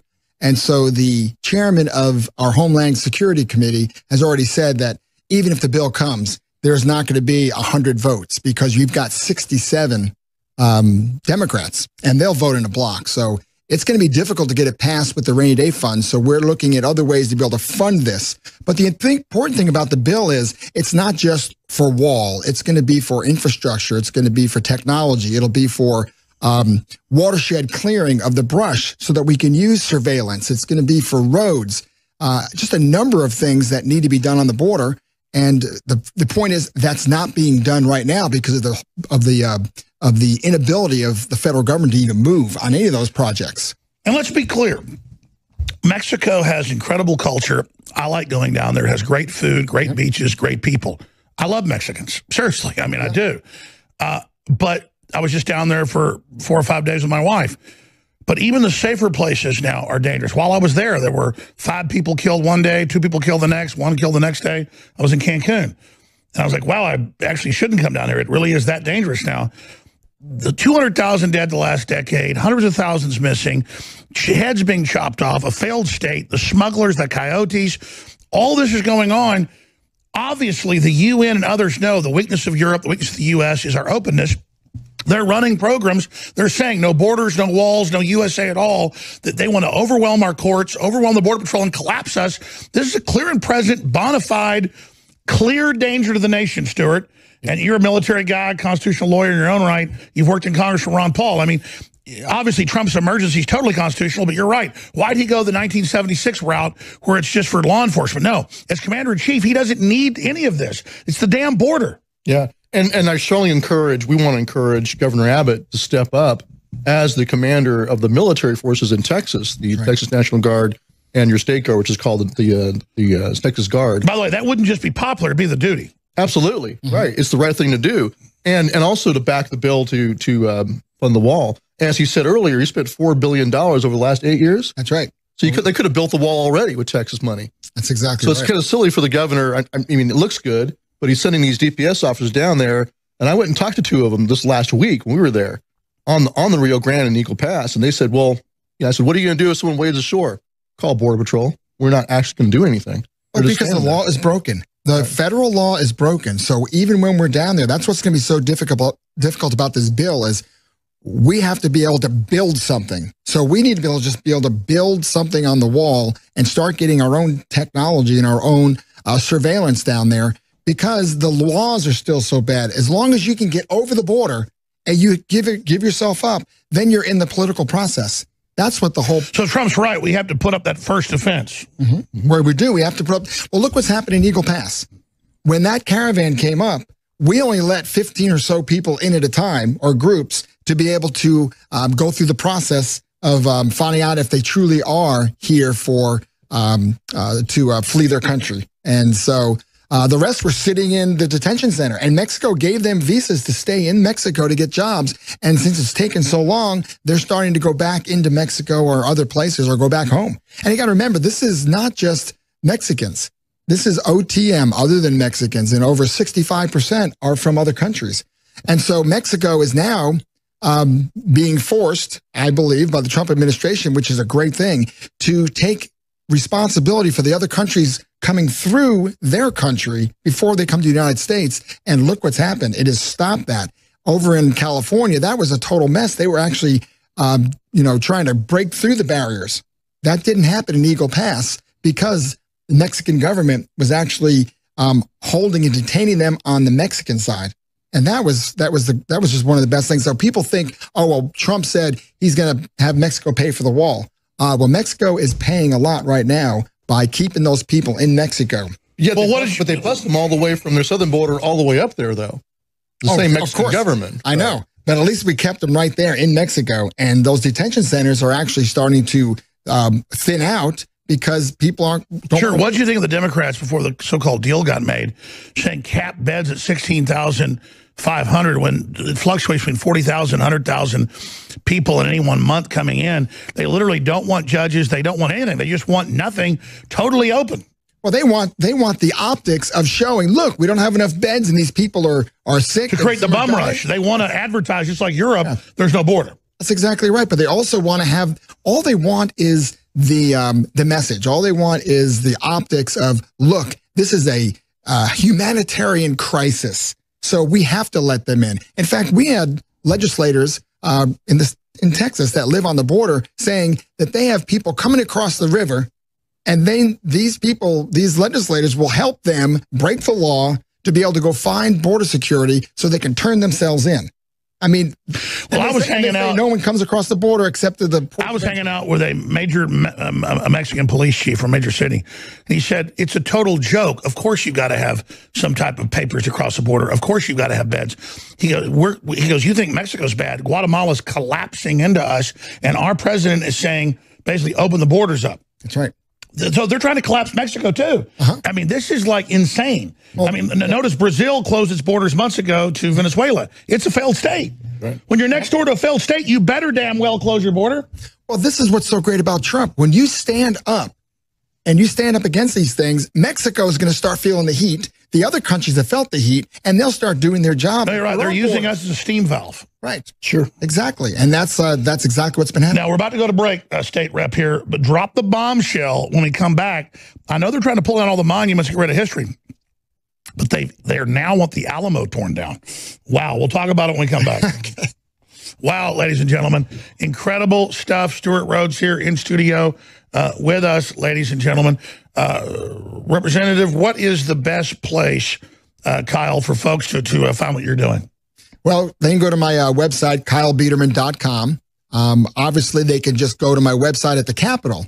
So at the Capitol, you just go to the switchboard, ask for State Representative Kyle Biedermann, and you can get right to uh, email to us. And that's And the biggest of thing is they should contact the governor. They should con- get behind this bill right now. Texas needs to take action. That's right. That's right. That, without the without the governor and lieutenant governor on board, they're the ones that really make the decision on what's happening. And they've been talking to the Trump administration, so it's not that they don't know what's going on. It just comes down to Leadership. People comes down to leadership. We'll be right back. Stay with us. As Texas goes, so goes the nation. The entire globalist leftist CHICOM funded combine is trying to bring down this state. Great state rep Kyle Biedermann is our guest in studio with our good buddy Stewart Rhodes has been co-hosting all week. We're going to get back to this in a moment, but I got to play this clip. This happened minutes ago on Fox News with this uh, Al-Qaeda woman, uh, ISIS woman that married an ISIS fighter five years ago, went over there, worked with this guy on record, admits it, and now wants to come back here. Oh, my God. Then take your damn hijab off, okay, and your stupid nose ring trying to look like the, you know, the state rep or that Trump congresswoman. administration says she's a terrorist and cannot re-enter the country, but she insists that she belongs here. papers and, and I know, in fact, that I was a citizen. And when I tried filing for a passport, it was very easy. It came in 10 days. So I thought I didn't have a problem. And I'm sure there's no problem. And I know my lawyer hopefully is working on it and he will win the case. What do you want to do if you went back to the States? What do you think will happen to you if you were to Um, allowed to go back? Of course, I'll be given jail time. John Yoo is the Deputy Assistant Attorney General. Okay, so listen, you left Alabama to go fight with your husband who was in uh, ISIS, and that's all admitted, and now you want to come. No, no, no, stay in your wonderland. And that's all I'm saying is that if you're a Muslim that loves America and, and this is all great, stay here. We love you. But if you want to go join ISIS, be in all this, and now you're bitching that we won't let you back in, wearing your hijab, sitting there. Uh, I don't want to get you to wait in on this. You're trying to get a border wall built to protect the state, but this is getting crazy. It, I mean, it's definitely getting crazy. In fact, um, we've got a, a, some legislation f- about the uh, radical Islam, uh, Islam, um, um, you know, CAIR, CAIR. So you got the Council of American Islamic Relations, and they're basically a Hamas group, a uh, Muslim Brotherhood, and yet they're allowed to come to the capital and be infiltrating into all different areas of the United States government as well as the Texas government. Oh, oh, they're taking my bank accounts away. No one ever touches CAIR's bank accounts who's been directly caught giving money to Hamas. So we're we're uh, we're in on that too, but we have so much to try to get done right now, and the and so No, no, I understand. You're focused on the border. So, so let's get to the big enchilada. People say, okay, they're going to pull down Davy Crockett statue. They're going to pull down Sam Houston's uh, statue. You know, he was against uh, having the Civil War. These people don't know jack crap. They just say they're alive during this period. Well, slavery's still going on in Africa. That's right. We're going to blow Africa up. The Middle East, in in Somalia, they're selling women in sex slavery every day at sex markets. Oh, but no leftist cares about that because Jeffrey or, or Jussie Smollett doesn't care. But tell us about your bill to stop pulling down the monuments because they're now, as you warned, targeting the Alamo. That's exactly right. So I actually have two bills because it's so important that we protect the Shrine of Texas, which is the Alamo. And so I'll start with that bill real quick. Basically, it's a fight between the state of Texas and the city of San Antonio. City of San Antonio wants to remove the cenotaph, uh, the the empty tomb for our defenders that died and shed their blood on that spot, and then Santa Anna dragged them four blocks away, burned their bodies, so there would not be a proper burial, so there wouldn't be a remembrance of our defenders. And then 100 years later, on the centennial of. So they want to complete, let's explain that. They want to complete Santa Anna's operation. That's exactly right. Who was hated in Mexico, lost Guatemala, Mm-hmm. and was later deposed. That's exactly right. So that city of San Antonio wants then to tell the 300 years of history on the Alamo battlefield where the battle was just part of it. Okay.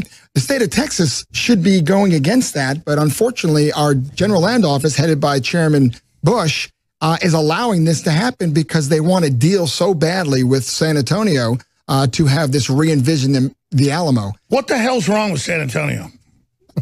You know, well, look what San Antonio's done for the Alamo since, the, you know, for the last 150 years. They have just, they were supposed to maintain the uh, the uh, cenotaph. They haven't. They've let For, until like 60 years ago, it was a warehouse. Right. They let all these buildings encroach on it, and then they they wonder why is it why is it not a um, why is it look the way it does? Well, San Antonio did it to themselves, you know, and so right now they're expecting the state of Texas to fund them so they could make it a bigger attraction. Why would they want to get rid of something that's such an attraction in the name of making an attraction? Well, because it's already an attraction, it's one of the number one. So people are going to come. So now San Antonio wants to put their political correctness on that site and bring in the indigenous Indians, uh, bring in actually tributes to Mexico because we were so mean to, to defeat them, and take the defenders who died for our state that gave us our independence out 500 feet away and put them in the free speech area where San Antonio owns that land, and the battlefield will then be uh, a place to tell the hundred, the 300 years of history instead, so that they can have a bigger attraction with the other five missions. They also wanted to be on, on a, a um, just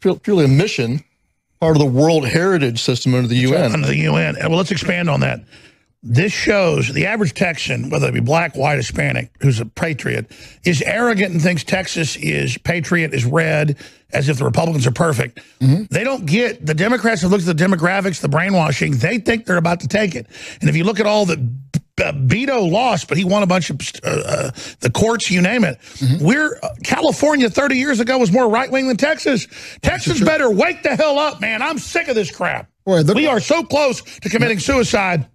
Boy, that is so true. I mean, that is more than true. I mean, in the Capitol right now, that is so true. We see California turned. It took a number of years. We turned really quickly this last election, and they're looking at taking over the House next election if we don't really get our get our act together. And here it is on the World Heritage site. So the GLO says the UN will have nothing to do with the uh, Alamo. They'll be they won't have any management, they won't have any oversight of the of the Alamo. And that is true because the World Heritage Organization does not manage any sites. They just lay the guidelines down. If you want to be a World Heritage site and be a designation for that, you have to follow their political correctness sanitation. Which gives control the whole region to them. It's a, right. And so the, the lease that we signed, where we don't own the land any, we don't own the land in between the Alamo. So don't you agree with what uh, the land commissioner earlier, when, when he said we shouldn't let leave this to the, the Daughters of the Republic, even though my mom and her grandma were involved. We need to take it away and have the state run it. Well, we needed more funding into it. Okay. So that's the problem. The, the daughters didn't have the funding and they did a great job. Without them, we wouldn't even have the Alamo. No, I agree. Yeah, you're right. But uh, they're the ones who went and got it. That's exactly right. They're the ones that saved it. Okay. But the point is, the, the state of Texas can do a great job there. But the problem is, they're trying to um, so what needs to happen? What needs to happen to save the Alamo? Oh my God, if we can't even protect like a 300 sanctuary uh, you know, shrine, what can we do? So my monument bills to stop any monuments from being moved that are over 20 years old. Uh, if you do, you've got to have a vote of two thirds of the well, Make them a heritage site. Well, not under the UN, but just under Texas. Well, we're, I'm telling you. Historical site. Well, we don't trust the Texas Historical Commission either, so we got to be careful who we give it to. Right now, we have to protect it by not allowing it to be moved, but we also are going to do eminent domain and take over the land that San Antonio on, owns in front of the Alamo. The Alamo. Well, that's Plaza. eminent domain I would support. The state right. needs to take over the Alamo. I mean, that is ours. It was supposed to be given to the state of Texas, but San Antonio decided to give a long-term lease and the GLO accepted it. So in that long-term lease, we cannot jeopardize the designation of a World Heritage. State rep here, uh, Biedermann, I love what you're doing, but I don't want to cuss on air, but I call it the chicken you-know-what dimension. I mean, how could someone want to piss on the Alamo when it already makes San Antonio hundreds of millions a year? Probably more. I mean, wh why? Cultural why? war. Well, it's cultural war. Because if you can take that down 170, 80 years later, you means you're winning. Right. It's a cultural war. You're exactly right, Stewart. But it's also a lot of, it's all about money. I mean, it's going to be a lot of money, huge contracts, a foundation. Um, you know, it's hard to follow the money because there's so many different bank accounts. And they're not uh, they're, they're not able to be looked at by the. Well, let's talk about what are some of the other monuments they've already torn down. Well, how about what's going on in Dallas? Right now, the city council and the mayor are debating on taking down one of the um, uh, one of the uh, Civil War monuments. But their question is, do we wrecking ball it or are we become more humane and take it down piece by piece. I mean, this is getting sick. And there's no voice by the people. It's just the local officials making this decision. And that's where we have to stop. And now Google says get rid of the uh, get rid of the term mother and father. And there's no there's no end to what the, the, controlled left wants to wrecking ball. We'll be right back with the plan to build a wall to defend Texas, launched by Texas straight ahead. I'm Alex Jones, Infowars.com, Newswars.com. Spread those links. It's an act of rebellion. State Rep Kyle Biedermann is here with us. He's introduced the bill that's moving forward with your support for Texas to fund building its own section of wall that would save a lot of money. Yep. But you dropped a bombshell on me during the break. It's not just they're trying to take over the Alamo. They're actually wanting to fly a Mexican flag over it. Tell us about that. Well, you got to realize who's running San Antonio. You've got the Castro brothers, and of course, their whole family. And they're the ones that got started on this re-envision, re re-envision the Alamo. They they they brought it up because it's been talked about for years, but they're the ones that really got it going. And of course, that would be uh, their ideal. And it's been talked about right now to move the the uh, the uh, cenotaph, which is the Defenders Monument, and then put in a statue of Indigenous Indian chief, uh, and then you know a statue of uh, maybe William Travis, maybe, and then of course grave sites for the Indigenous Indians, and then um, tributes to the Mexican Army, and it has been spoken about. And so I, I just can't make these things up. This is where we're heading. And when you look at the leadership of San Antonio, that will give you the reason why it's heading that direction. But it's so pissant. Why not just embrace Texas history? That's why don't liberals do that? Why do they always want to tear down our values and principles because they're they, they need to tear down Christianity because that gets rid of morals. And without morals, they could do what they want. Why don't we build a statue to Jussie Smollett at the Alamo? I'm sure they would probably do that before they would want to have a statue of some more of the defenders. And that is what is so sad. Again, it was the white people. Unfortunately, we're the ones that are bad. And so whatever they need to do to to take us down is well, let me ask you this, because uh, again, it's not people that are brown or whatever that are bad. It's, it's the leadership of the globalist. I mean, Stewart, you know, your you know your mom's side of the family from Mexico, great right. people, but we have to stop getting into the, this thing that we're bad because we're white. Why does everybody want to get into a white-run country so fast?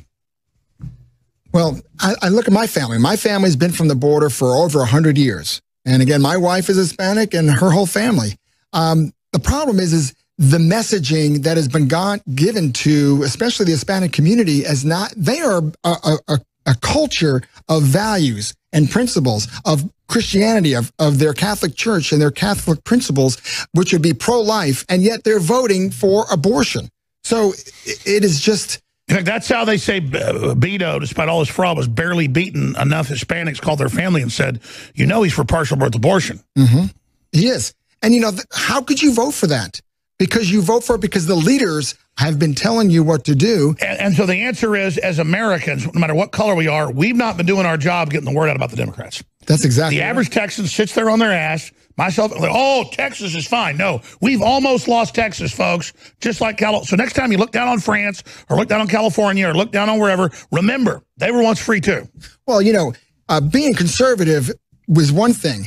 It all comes from leadership, as you said earlier. What is the leadership? And if our leadership is not going to stand for Texas, then that's how it'll fall. And if you want to try to play it safe and you want to try to, you know, you know, kind of deny what's really happening so that you can be popular, uh, that's where the problem's. Well, let me tell this big secret. You're going to get demonized. We're coming on tomorrow, but any smart constituent's going to think that's a good thing. The, the establishment Republican Party grovels to corporate media when it has no power. Only the power we give it. I'm not a big Roosevelt fan. I like some of what he did, shut the Nazis, but the only fear we have is fear itself. It's that last illusion. Mm -hmm. That's all there is. There is no power there. We just have to stop giving them the power. Oh my gosh, if I stand up for not sexualizing children or if I stand up against, you know, big pharma pushing, you know, hardcore drugs on kids, I'm going to be demonized. Good. You want to be attacked by bad guys. Why the hell are we so afraid? Well, you know, and as and the poll I just gave you earlier in the show, where the number one and number two most important issues to the state of Texas by the constituents in Texas is illegal immigration and border security. And we need our governor to put those priorities first. And that's why it's going to be so important what Stewart's going to be doing down the border, where we can announce that we would like or we demand that our leadership, our leader in the state of Texas, uh, Governor Abbott, to stand for Trump. Oh, I mean, how, how popular would Abbott be if he called for a bill of a $5 surcharge on every driver's license to build the wall? Mm -hmm. Texas would rush to do it. Uh, Stewart? Yeah, well, Governor Abbott needs to take the lead. He's, he's in the hot seat. He needs to declare an emergency in Texas, which will bolster President Trump and give him some support. I don't know why Abbott's been silent. He needs to step up and be the leader of Texas and support uh, Kyle Biedermann's bill. Well, build the wall. That's exactly right. And and if they take a poll, which I know they are, and they may not want to, you know, acknowledge it, but the poll is the people want border security and they want illegal immigration to has stop. Has Trump chimed in on what you're doing yet? Well, we're trying to get him to chime in here. He has spoken to Governor Abbott and Lieutenant Governor Patrick. He has spoken to them. But again, um, you know, it's we need to we it's it's up to us. It's not up to Donald Trump. Donald Trump is doing everything well, yeah, he can in the And I love government. Mexico, but it's not like we're on the border with Switzerland. Uh -huh. I mean, and, and, even rich countries have borders for a reason. Criminals are coming across. the idea that we can't have any borders, any walls, no USA at all, that's what this is about. And I've said it. And Lou Dobbs talked about it, and they said, oh, you know, basically kick him off air. We need to criminally charge the people that are transferring State Department money to Soros to fund these caravans in the attempt to break our immigration system. Our lenient system has only invited people to exploit it. And Stewart, why do you think they want to totally break the border? Well, it's it's obvious they want to take over the United States um, with people they believe will vote their way. And you know, the Mexican Tejanos who fought at the Alamo and all their descendants are flag waving patriotic Americans too. I saw them down at the El Paso rally at Trump's rally. About a quarter of the audience were Hispanic Americans. So it's not a racial issue, but it is a cultural issue. Mm-hmm. They want to flood us with people in larger capacities than we can assimilate um, and also condition them not to assimilate. As you said earlier, the new model is a salad bowl, supposedly. Don't assimilate, fly your own flag. That's just, that won't, that won't work. If they're not going to come here, as Teddy Roosevelt. If your old flag was so good, why the hell are you coming here? Right. And as Teddy Roosevelt said, if you come here and assimilate, then you're an American. Well, we have an obligation and duty, and we'd be proud to accept you. And if you refuse to assimilate, you don't belong here. Well, I believe that the, the Hispanic um, population wants to assimilate, wants to be called Americans, except that they are getting brainwashed. No, there's no leadership. Pressured they're getting pressured by the um, you know the the liberal leadership, the liberal the media liberal leaders, and so, the media. so you're saying there's no leadership. That's that's correct. Was well, they have no, they have great leadership from the other side. I'm saying there's no oppositional. Side. Right, you're exactly right. It's All right, Representative, how do people follow what you're doing? How do they get involved? How do they get the governor and others to, to promote this? Well, the governor, you have to call the governor. You just got to flood his phone lines and let him know what you feel about the about the border security issue and about illegal immigration and that that should be the number one priority here in the state of Texas and that we need to support Donald Trump. And he needs to declare an emergency in Texas mm-hmm. and support your bill. That's exactly right. right. And again, everyone gets so bent out of shape that, oh, it's a wall. Well, we're not going to have a wall on the whole border for a thousand. We need to get on the offense and have Beto declared as a traitor and all the leftist groups and the UN. We need indictments. We need the state police, the Texas Rangers kicking down their doors when Beto says, I got 2,000 more in today. We just put up with this open globalist invasion. It's time to take out the brass knuckles politically or roll over and die. It's that simple. Victory or death, to quote Colonel Travis. Well, and you're saying, you know, again, work on this Alamo bill. When I take the quotes from Colonel Colonel Travis, you take the quotes from uh, um, Juan Seguin and other people that were at the Alamo. It, it, you know, they knew what was going to happen. They knew what the future was going to be if we and, did not keep that. And notice everybody's racing to get away from what Santa Anna set up to what Colonel Travis set up. Mm -hmm. That was what was honorable. We're not perfect, but you know what? You got your land here. You got decent start. There's not cartels running your life. Right. Because people are willing to die for that. Right. And you read what these men said back then. And how could you do what you're doing today by allowing, you know, desecrating the, the Alamo when these people, if they were alive, they got to be rolling in their graves. This has got to be so upsetting to them. Cartels are worse than Santa Anna. Yeah. They're worse than Santa Anna.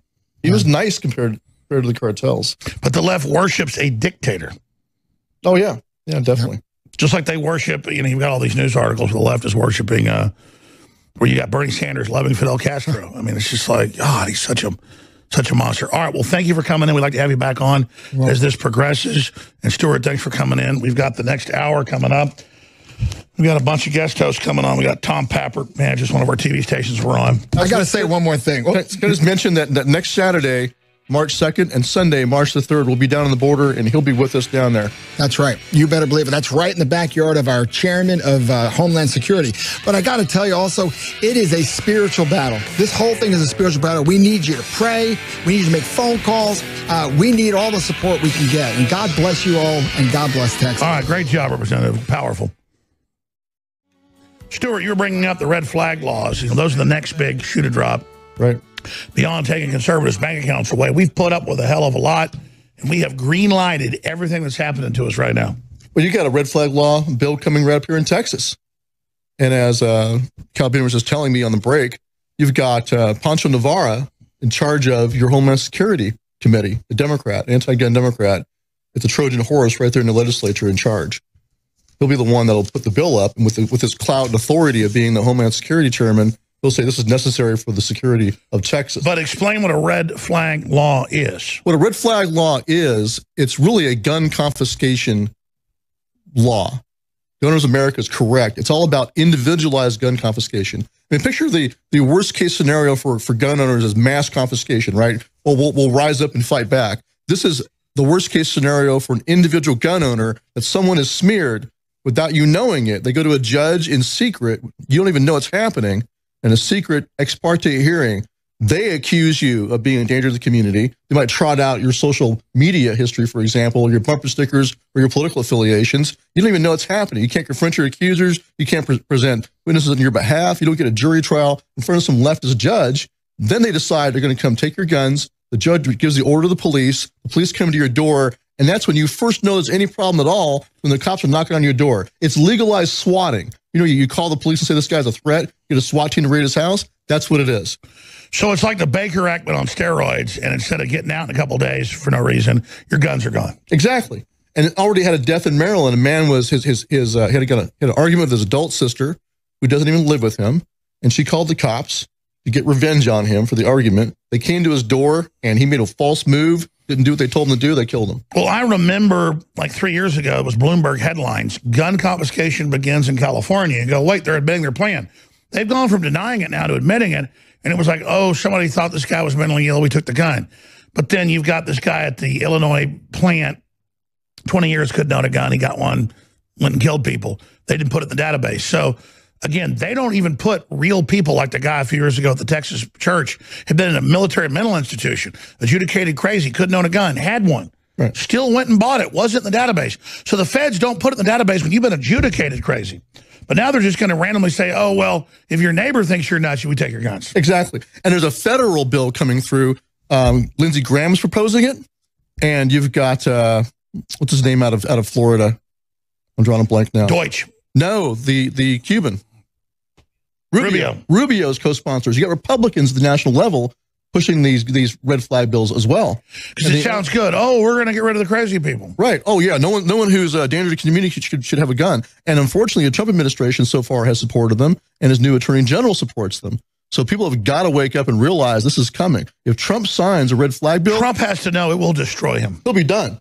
He'll be his goose will be cooked. So what type of advice and, is he getting? So will our goose be cooked.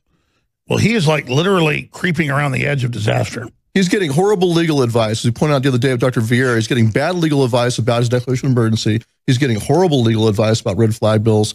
And so we're working on both those fronts to try to put some good advice in his hands of what he should be doing. Because like you, you said, we, we got Tom Pappert taking over and doing a great job. Let's do a 60-second break and finish up. You're a constitutional lawyer in your own right from, from Yale. You work for Ron Paul. Looking at this, if he did it as commander-in-chief, he's open, he's clear, he's covered.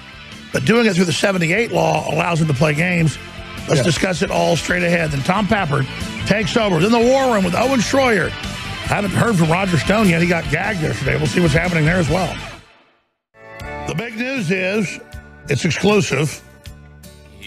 Jeffrey Smollett is being investigated for wire fraud with a fake letter they say he did. But the bigger news is the feds, and we'll see because it's a mixed bag of Democrats and Republicans, are investigating him for being directed by higher ups to boost the whole show's value. Obviously, that's the, really the big takeaway. Mm. And the big city Chicago machine. Now, we're going to have Tom Pappert at Real Get Trump or Real GE Trump. He also uh, heads up the uh, Trump God Emperor uh, website and, and, of course, manages a TV station uh, that we're on. He's going to be taking over here in just a minute. Uh, but, Stewart, you were finishing up with the whole red flag laws and national gun confiscation plan. The Democrats now, incredibly, uh, have come out and said, oh, we'll have our own emergency and take your guns.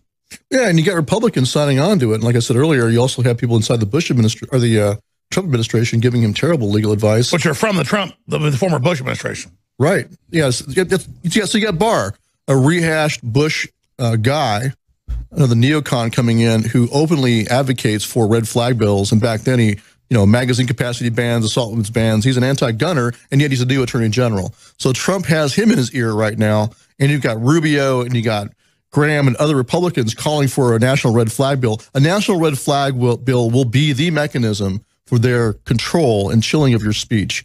People on the conservative right own guns. They will use that to do what China's doing now. If you don't get in line and don't say the right things and stay in your box and stay in line, they're going to take your guns away and will chill the speech of millions of gunners across the country. And it will be a ticking time bomb because every time you go to bed, you won't know if that's your night to have a SWAT team coming to your house and they'll, and they'll use it against you. The left will use it against so you. it's oh, obviously they're going to then, as you said, swat everybody, yeah, dox everybody. So this is their new level of harassment. Don't just take your bank account.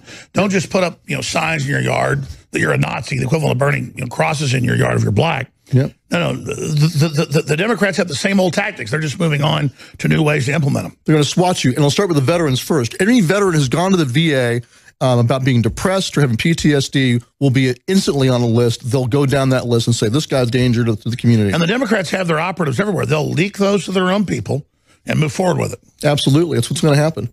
So we have to stop a red flag bill. You have to let Trump know that if you if you touch this, it's the third rail. It's the real third rail. You touch this, you're done. He has to know Think that. how incredibly restrained nationalist Christians, conservatives have been. So far, right. What about Smollett? Then we're going to turn this over to Pappert. Smollett is the most disingenuous, fake person I've ever seen. Everything he's done is blown up in their face. And still, Don Lemon and uh, others will not not not throw him overboard. Again, that just signals that the sources I have are right. This was all done at higher level direction. Yeah, it wasn't because he was he was concerned about his salary. I, I believe he's a political operative of the Democratic Party, and this was all intended to further their agenda to demonize this country and smear the president and all his followers as being racist. And he was trying to incite a race war. I agree with Mike Adams. I think that's what was the possible outcome. It was very dangerous. And so I'm glad to see the feds go after him on, on, on uh, wire fraud. And I think they should use that as a mechanism to expand it. In fact, I think Trump should just appoint a special counsel of his own, like Mueller on the other side, and go and, and dig and find out exactly what his connections were and how high up they go. Why would he be so dumb as to pay the guys to write the letter and pay him to go to the hardware store and then have the cops show up 40 minutes later with a noose around your neck, crying with symmetrical, barely cat scratches on your cheeks? I mean, this was just ridiculously fake. He thinks we're that dumb because we've been asleep. He takes our sleeping as our uh, as our acumen. And he also took for granted that the Chicago PD, he did not realize they were going to actually do their jobs, which they did. They did a pretty good job tracking down what really happened. I think that caught him by surprise and his string pullers. Did you see Lemon? I mean, I played this before, but Lemon saying it's not his fault. This was planned bad and executed bad. He says the, the, whoever was handling this screwed up. It's not his fault. Lemon is on TV admitting he was ordered to do this. Well, he was kind of a patsy, right? I mean, you kind of feel sorry for him. He's a low, lower level patsy as far as intelligence goes. He is. But who's really behind it? Well, so why did they not give him a better job? Like, hey, uh, here's a box of masks and use these guys. But again, it just shows how cheap the left always does things. Yeah, it's a little bit of hubris. I think I think he did he underestimated the Chicago PD. He thought they truly had them all locked up in their back pocket. There would be a, a show investigation, and and to their credit, they actually did a real investigation. But now it gets higher up. A slap on the wrist is orderly conduct. Well, that's that. I didn't like that when I first saw that, but I guess they've also tacked on a charge for uh, for a false police report as well. But they need to go beyond that. I think the mail fraud is the right way to go. As we talked about yesterday, there was a, a Chicago lawyer called in on the show when Owen was on and talked about how his concern is is that the prosecutors, the, the rank and file prosecutors, like the rank and file cops, want to go after this guy. But he's concerned that they'll get an order from above, from their higher ups, to leave him alone or be nice to him. I don't see how Smollett did this without help. And I'm not involved in the investigation, but the word is they're looking at the people above them at Empire and obviously getting it greenlighted in Chicago. That I guess they just thought this would go over this way and no one would dare challenge it. I think the establishment's misgauging the atmosphere. Well, it's also like you said earlier. It's also part of their kind of their ethos. They they are all on on team demonization. You know, team project racism. So they all all want to demonize this country. They're all following the same playbook. It's kind of like being a communist back in the 50s and 60s. They're all following you know, the edicts of the Comintern, the National Comintern, International Comintern, um, but they all did it in their own, own, particular way. So even if there's not a direct connection, he's still part of that overall plan. And that's their strength, but it's also their weakness because we can look at their blueprint and go, okay, this was, and like they literally follow like robots. Yep. Yeah. It's it's it's it's the exact same thing. If you're a Trump supporter, you're, you're white. You must be white. You can't be anything else. Um, or if you're if you're not white, then you're a race traitor. But you're all racist. You're all fascist you're all pressed. Which is to keep minorities from buying into the American dream. We're saying, no, you're not allowed to have this. You wanted to get here because fragments were still left, but you can't have it. Yeah, which is failing. Which is why they want to bring in people they believe will be more amenable to their to their agenda and condition them to hate this country. But that might fail too. We'll see. All right, great job. Thank you, Stewart Rhodes. you. Uh, Tom Papper takes over. I didn't plug last hour. I'm barely plugging this hour. We're going to go bankrupt because of me. It's all my fault. I plug every segment. We make the money we need. I plug like once every two hours. The best protein bars, the best energy drinks, the best fish oil, the best uh, colloidal silver, the best iodine, the best products, the best coffee. Just sign up for auto ship on stuff that you need to reorder like toothpaste and the iodine and the uh, protein bars and get 10% off and know each month you're funding us. Thank you all for the support. Infowarsstore.com is the blanket site. Infowarslife.com is the sub site. Uh, again, some of these promos don't have uh, any, any reviews yet because they just came out, but all the others have five-star reviews. Infowarslife.com or 888-253-3139. Tom Papper takes over. Welcome back to the Alex Jones Show's fourth hour. I am Tom Pappert, guest hosting for Alex Jones. Big thank you to Alex and the InfoWars team for giving me this opportunity, giving me the platform. I want to keep going where Alex left off, talking about Jussie Smollett and talking about some of this big tech fascism that we've got going on, because I think they really go hand in hand. I mean, Alex revealed today on the show that he has sources indicating that top Republicans, top Department of Justice officials, top FBI officials are investigating Smollett. We already knew that the FBI and U.S. Postal Service are investigating Smollett because of alleged mail fraud. He sent the phony, uh, hate filled letter that had MAGA at the return address to himself, allegedly. But I think that the reason Smollett thought he was going to get away with this is because Democrats in general are operating under a different paradigm. They think it's still 1995 and they control the narrative and nobody's going to ask questions. And of course, the Chicago Police Department did a fantastic job uh, getting to the bottom of this as quickly as they did. But I do wonder if it wasn't for the internet, if it wasn't for people like Alex Jones and InfoWars and all of the Info Warriors out there hammering, hammering, hammering, saying this doesn't seem right. This seems seems fake. This seems like it's not the whole story. Would the Chicago police have been so willing to pursue it with such vigor? I'm not so sure. So I think that Smollett and his handlers, if he has any, I think that they were hoping desperately that Americans were still asleep, that Americans were still stupid. And that's just not true. But the thing is, they want us to be. And that's why they're going after us online. That's why they're going after our bank accounts, our PayPal account. We just had one of our writers at bigleaguepolitics.com, Luke Rolfing, was banned from PayPal. This guy uses PayPal to buy books. He uses PayPal to pay his family back. He uses PayPal for just mundane things. But now he's gone. There's no explanation as to why. And it just it lines up so well with what's happening with Chase Bank, terminating anybody who even slightly likes Trump or even slightly likes the Proud Boys. You're no longer allowed to be at Chase Bank. It goes right hand in hand with Facebook. Luke is no longer allowed on Facebook. He's no longer allowed on Google. It's a miracle he's still allowed on Twitter.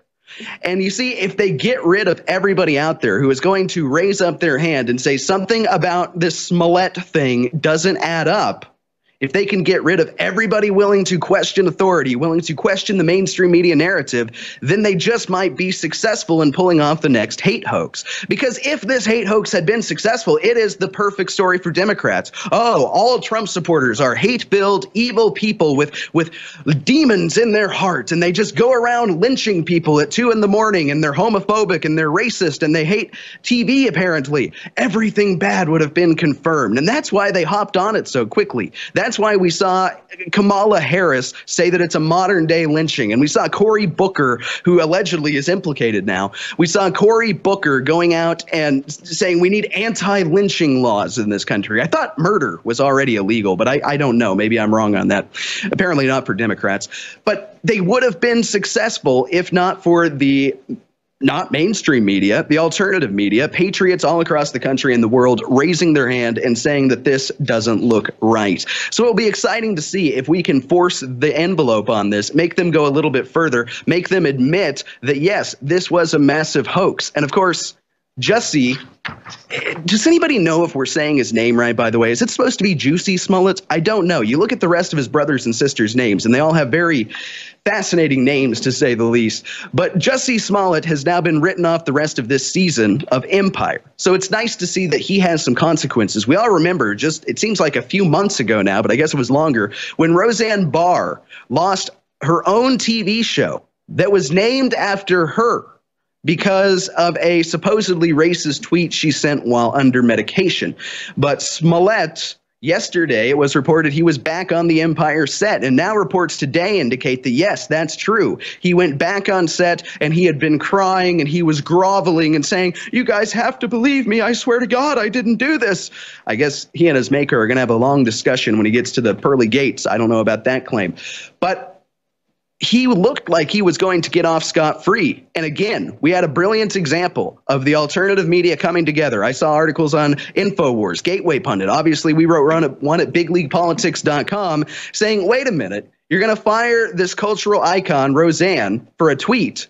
But Smollett, who, if this is proven true, did one of the biggest hate hoaxes in modern history. He smeared 60 million Americans, Trump supporters, as vile, horrific, demonic people. And not only that, the people of Chicago are rather annoyed, and rightfully so. Chicago is a liberal uh, sanctuary, it is a utopia for them. You, Chicago is everything the Democrats want. You have gun control. You have Democrats in office for 60 or more years. Obviously, the violent crime rate is through the roof. You know, they call it Chiraq uh, because it actually mirrors the crime rates of Chiraq, but they consider themselves to be enlightened liberals there. And so for Smollett to go in and say that, well, this was all just MAGA evil men in Chicago at 2 a.m., it really kind of slandered the entire town. So it's nice to see him get a little bit of consequences. Let's read from this a little bit. This was at bigleaguepolitics.com earlier today. Hate crime hoaxer Jussie Smollett will not appear in the last two episodes of Empire this season. And it's important to point out Smollett's bail was $100,000. That's what he gets paid for one episode of Empire. So a lot of people are sitting there saying, is the judge drunk? How on earth does he think that a $100,000 bail is anything to a essential Hollywood actor? Just because he's in Chicago, he's still a Hollywood actor. I mean, he was arrested in 2007 and pled no contest for driving with a DUI, lying to the police, and driving with a suspended license while in Los Angeles, trying to further his acting career. So again, it's nice to see him get some consequences. I honestly thought he was going to get by scot free because that seems to be the pattern with Democrats. You look at Hillary Clinton, you look at all these other names, you look at Debbie Wasserman Schultz, who hired the two complete uh, hacker losers.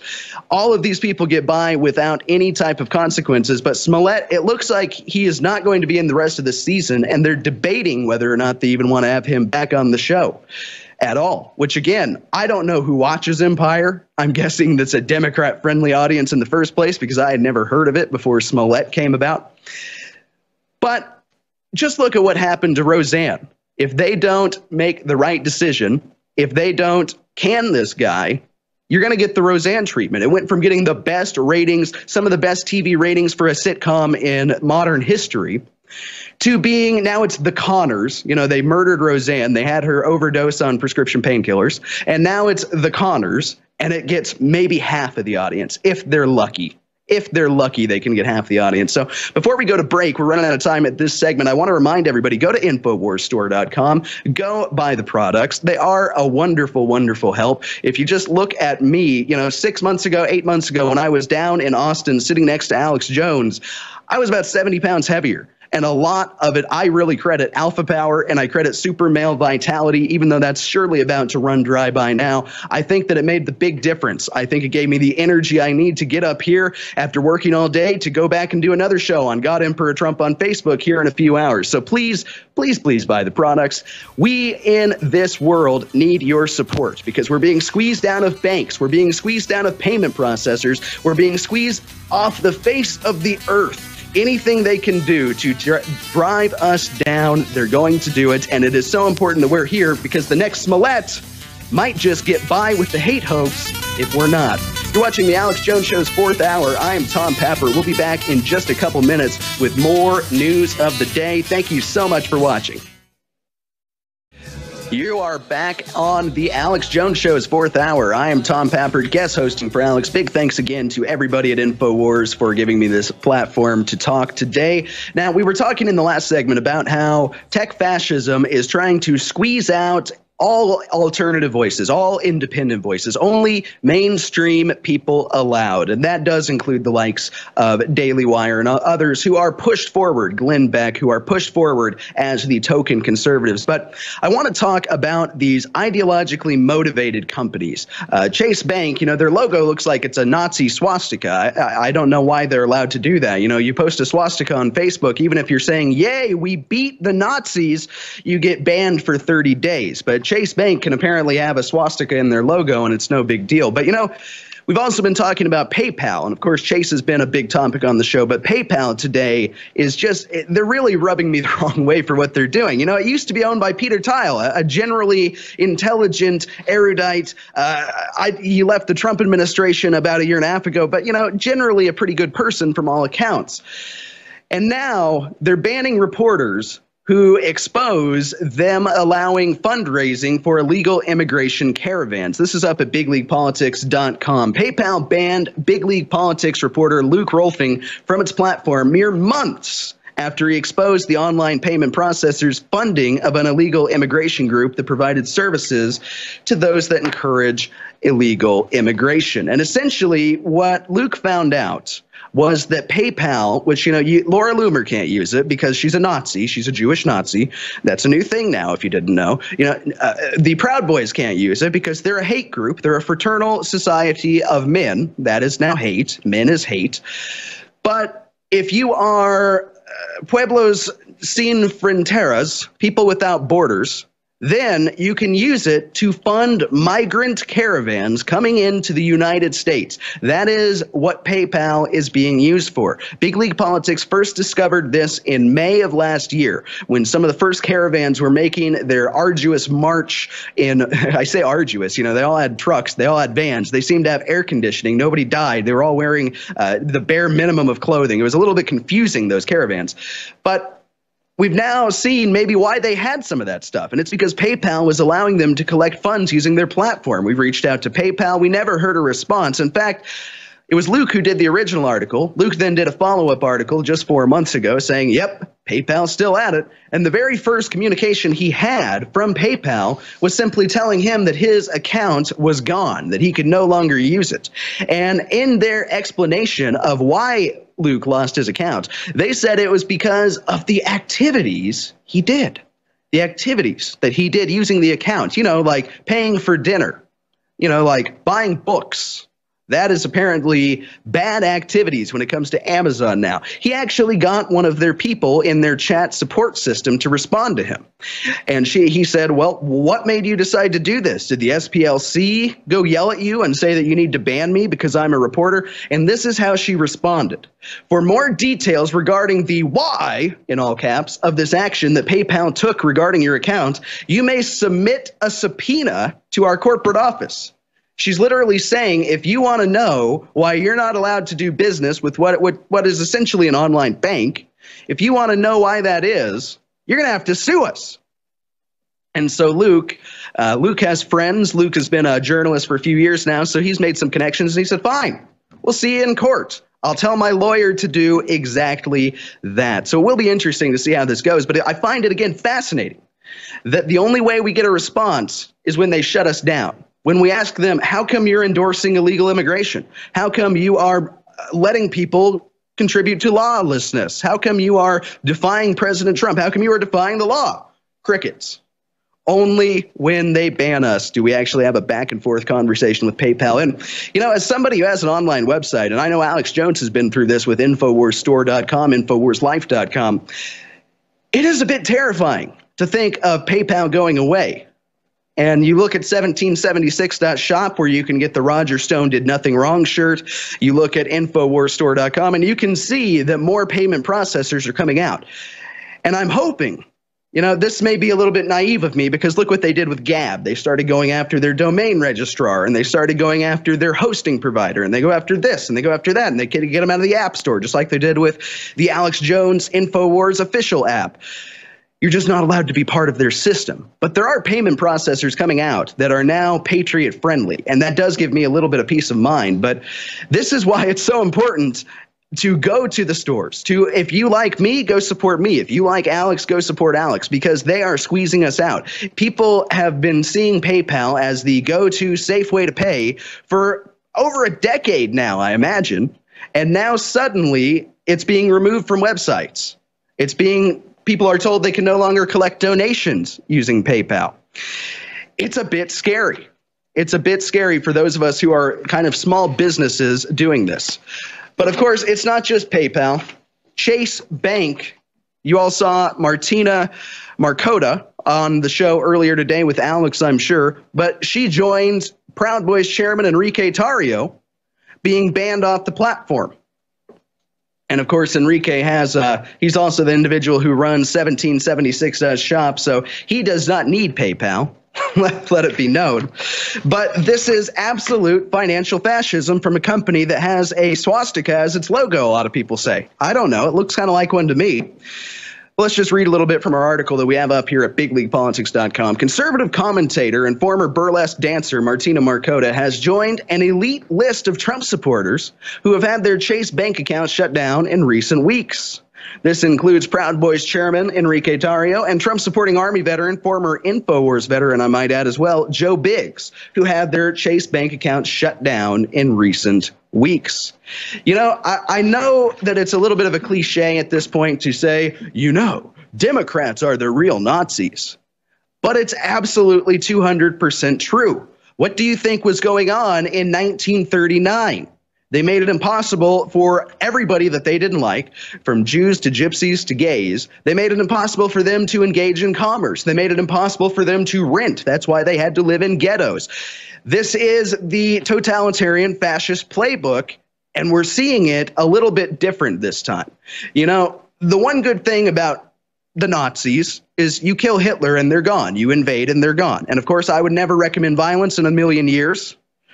I don't think that that is how we get out of this because this is different. This is Kafkaesque because it's not the government that's putting its boot down on our neck. It's these bigger than government corporations. It's these bigger than government banks that have half the government paid off. They get to do whatever they want with no repercussions. And it's really, you know, you go and you try to appeal something. If it's the government, you know what channels to go through even a totalitarian government, you know what channels to go through. To get your PayPal account, uh, to get a little bit of a, hey, what happened here, an explanation, you have to sue them. They openly invite you to sue them. I'm sure it's the same with Chase Bank. If you want to get some answers as to why your Chase Bank account is no longer allowed to exist, the only option is quite literally a lawsuit. And the average person doesn't have the money for this. You know, on the internet, a lot of people like to say, well, then sue them, get a lawyer and sue them. You're talking tens or possibly hundreds of thousand dollars to get any type of response from this stuff. It is frankly a bit fascinating. You can see right there on screen, Alex Jones is part of this, and he is suing PayPal. And I can only imagine the legal costs associated with all this. And again, I hate to plug so much for Alex, but he says he doesn't do it, so maybe the guest hosts have to do it for him. That is why we need your support because we're not allowed to make money.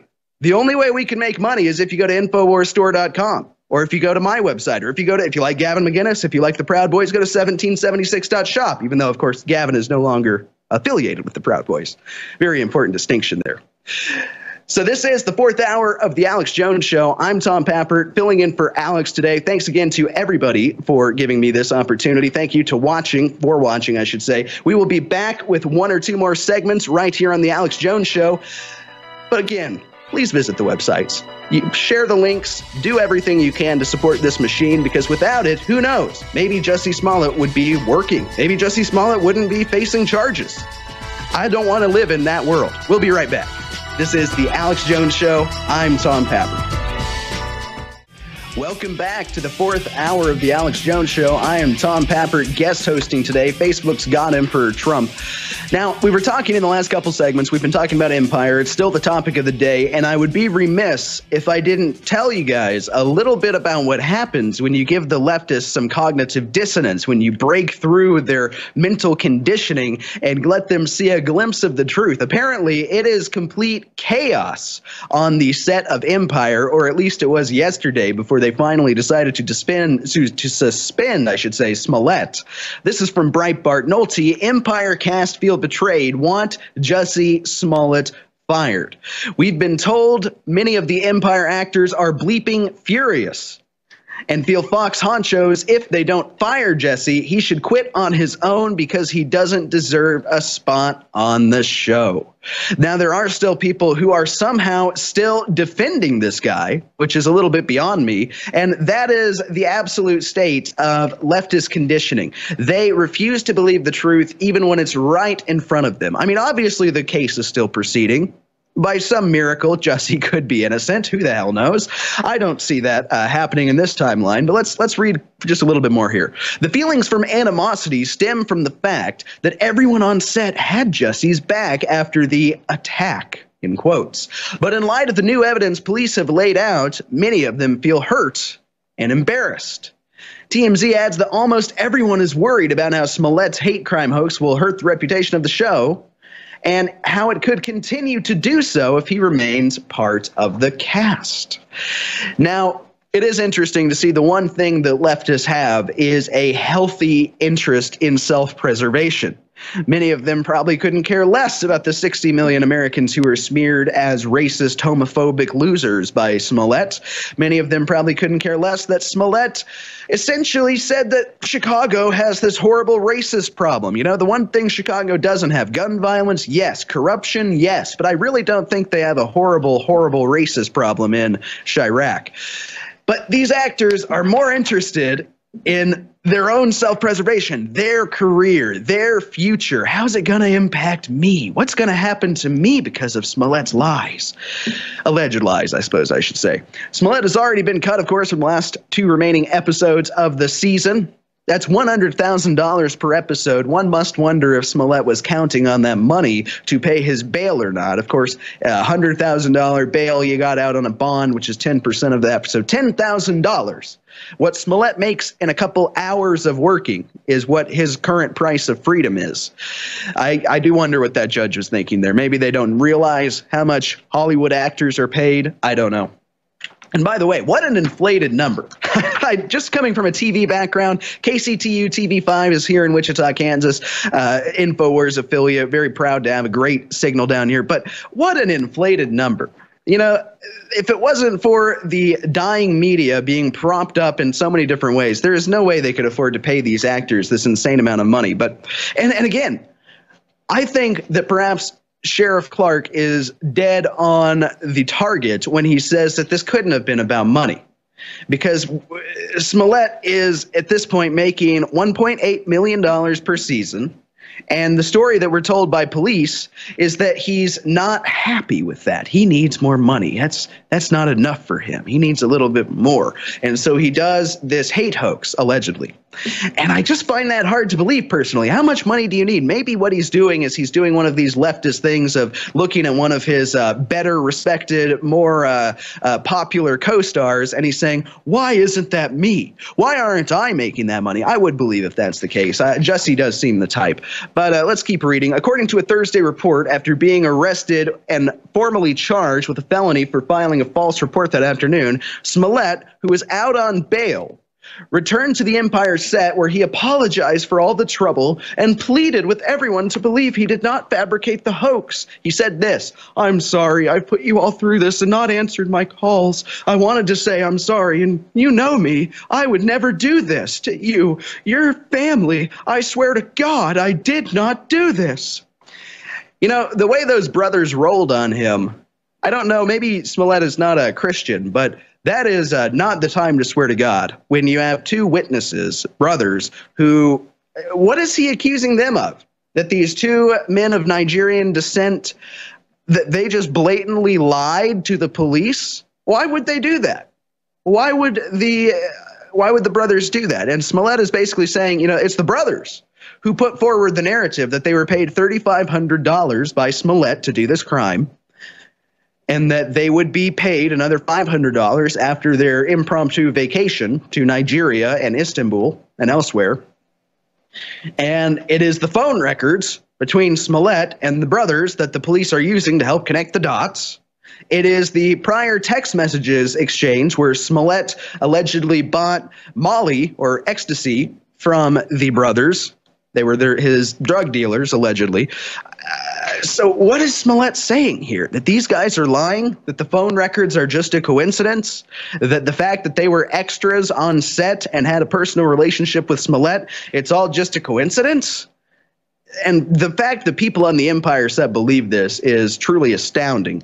Uh, by the way, Smollett, because he was being overwhelmed with phone calls from people asking him about this, he had actually turned off his number and got a new phone number. He was that uh, that busy trying to dodge people. And I all I do wonder, this is my own personal theory that's not grounded in anything, but did he think that if he got a new number then police wouldn't be able to find some of the old data? I don't know, but it is absolutely beautiful. Uh, uh the tension within Fox about how to handle Smollett, the article continues, is highlighted by the fact that the actor is well liked among the network and studio brass. Well, maybe they should have paid him more. That's apparently the reason for all of this. So, in the last segment, We've got a few minutes left here on the fourth hour of the Alex Jones Show. In the last segment, we talked about big tech fascism squeezing out the little man. And it's not just big tech. This is the left's culture. This is what they do. They want us gone. They want us removed from not just public discourse, but if they could get their way, the face of the earth. And it's not just in America. In the United Kingdom, a student was kicked out of a university after branding halal meat, the type of meat that Muslims have to eat, as barbaric and inhumane. And if you don't know how halal meat is processed, is that the right word? Prepared, maybe? They butcher an animal while it is alive, not stunned, no type of sedation, no type of anything. They slit its throat and let the blood drain onto the ground. If PETA had any guts whatsoever, they wouldn't be releasing god awful videos trying to convince Americans not to drink milk. They would be putting their entire budget into stopping halal slaughter. But no, that would be racist. That would be anti diversity. So this kid has now been kicked out of university. He's 19 years old. He's a member of the UKIP party. He's now been kicked out of university until next September when the next uh, academic cycle starts. And the only way he can get back in September is if he goes to a diversity training class. This is the future of America, I think. This is where we're headed if we're not very, very careful and if we don't really start to push back in every nonviolent way we can. And further in the future, say another six months to a year beyond that, is what's happening in China. They have officially unrolled the new social credit scoring system in China, and Gateway Pundit posits is America next. Now, they also add uh, America already has a social credit score. Just ask Laura Loomer, whose unofficial social credit score led Chase Bank to cut ties with her, PayPal to cut ties with her, Facebook to cut ties with her, Twitter to cut ties with her. The only place you can still find Laura Loomer is on Instagram which seems to be the forgotten one. I, I shouldn't probably say this because then they'll go find it and get him. I'm not even going to say it. But there are people who are banned from other platforms still on Instagram. We'll leave it there. And the Chinese, because it's so hard to get people to parrot their fake news talking points and, and that are actual human breathing newsmen, they are actually creating NPCs, non playable characters, to read their news. This is a bit of a comical article. We got to go fast. We're running out of time here on the fourth hour of the Alex Jones Show. But hundreds of journalists reacted with indignation when well wishers urged them to learn to code in response to a round of firings. Well, the Chinese have beat them to it. Not only do their journalists know how to code, their journalists have coded an AI journalist that will read the news for them. It's a fascinating development. And I do think, you know, hey, you can program a program to lie. You can code this fake guy to lie. That's not difficult at all. That's an easy thing to do. If we had more time, we might play that video, but we are running out of time here in the fourth hour of the Alex Jones Show. I want to say thanks to Alex and thanks to the InfoWars team once again for giving me the ability, the opportunity to co- uh, guest host here on the fourth hour. My name is Tom Pappert. You can find me on Facebook on the Facebook page God Emperor Trump, on Twitter at Real GE Trump. And if you're in a big city, check the airwaves out. You might just get InfoWars on TV. It's been a lot of fun. Thanks so much for watching. War Room up next with Owen Schroyer.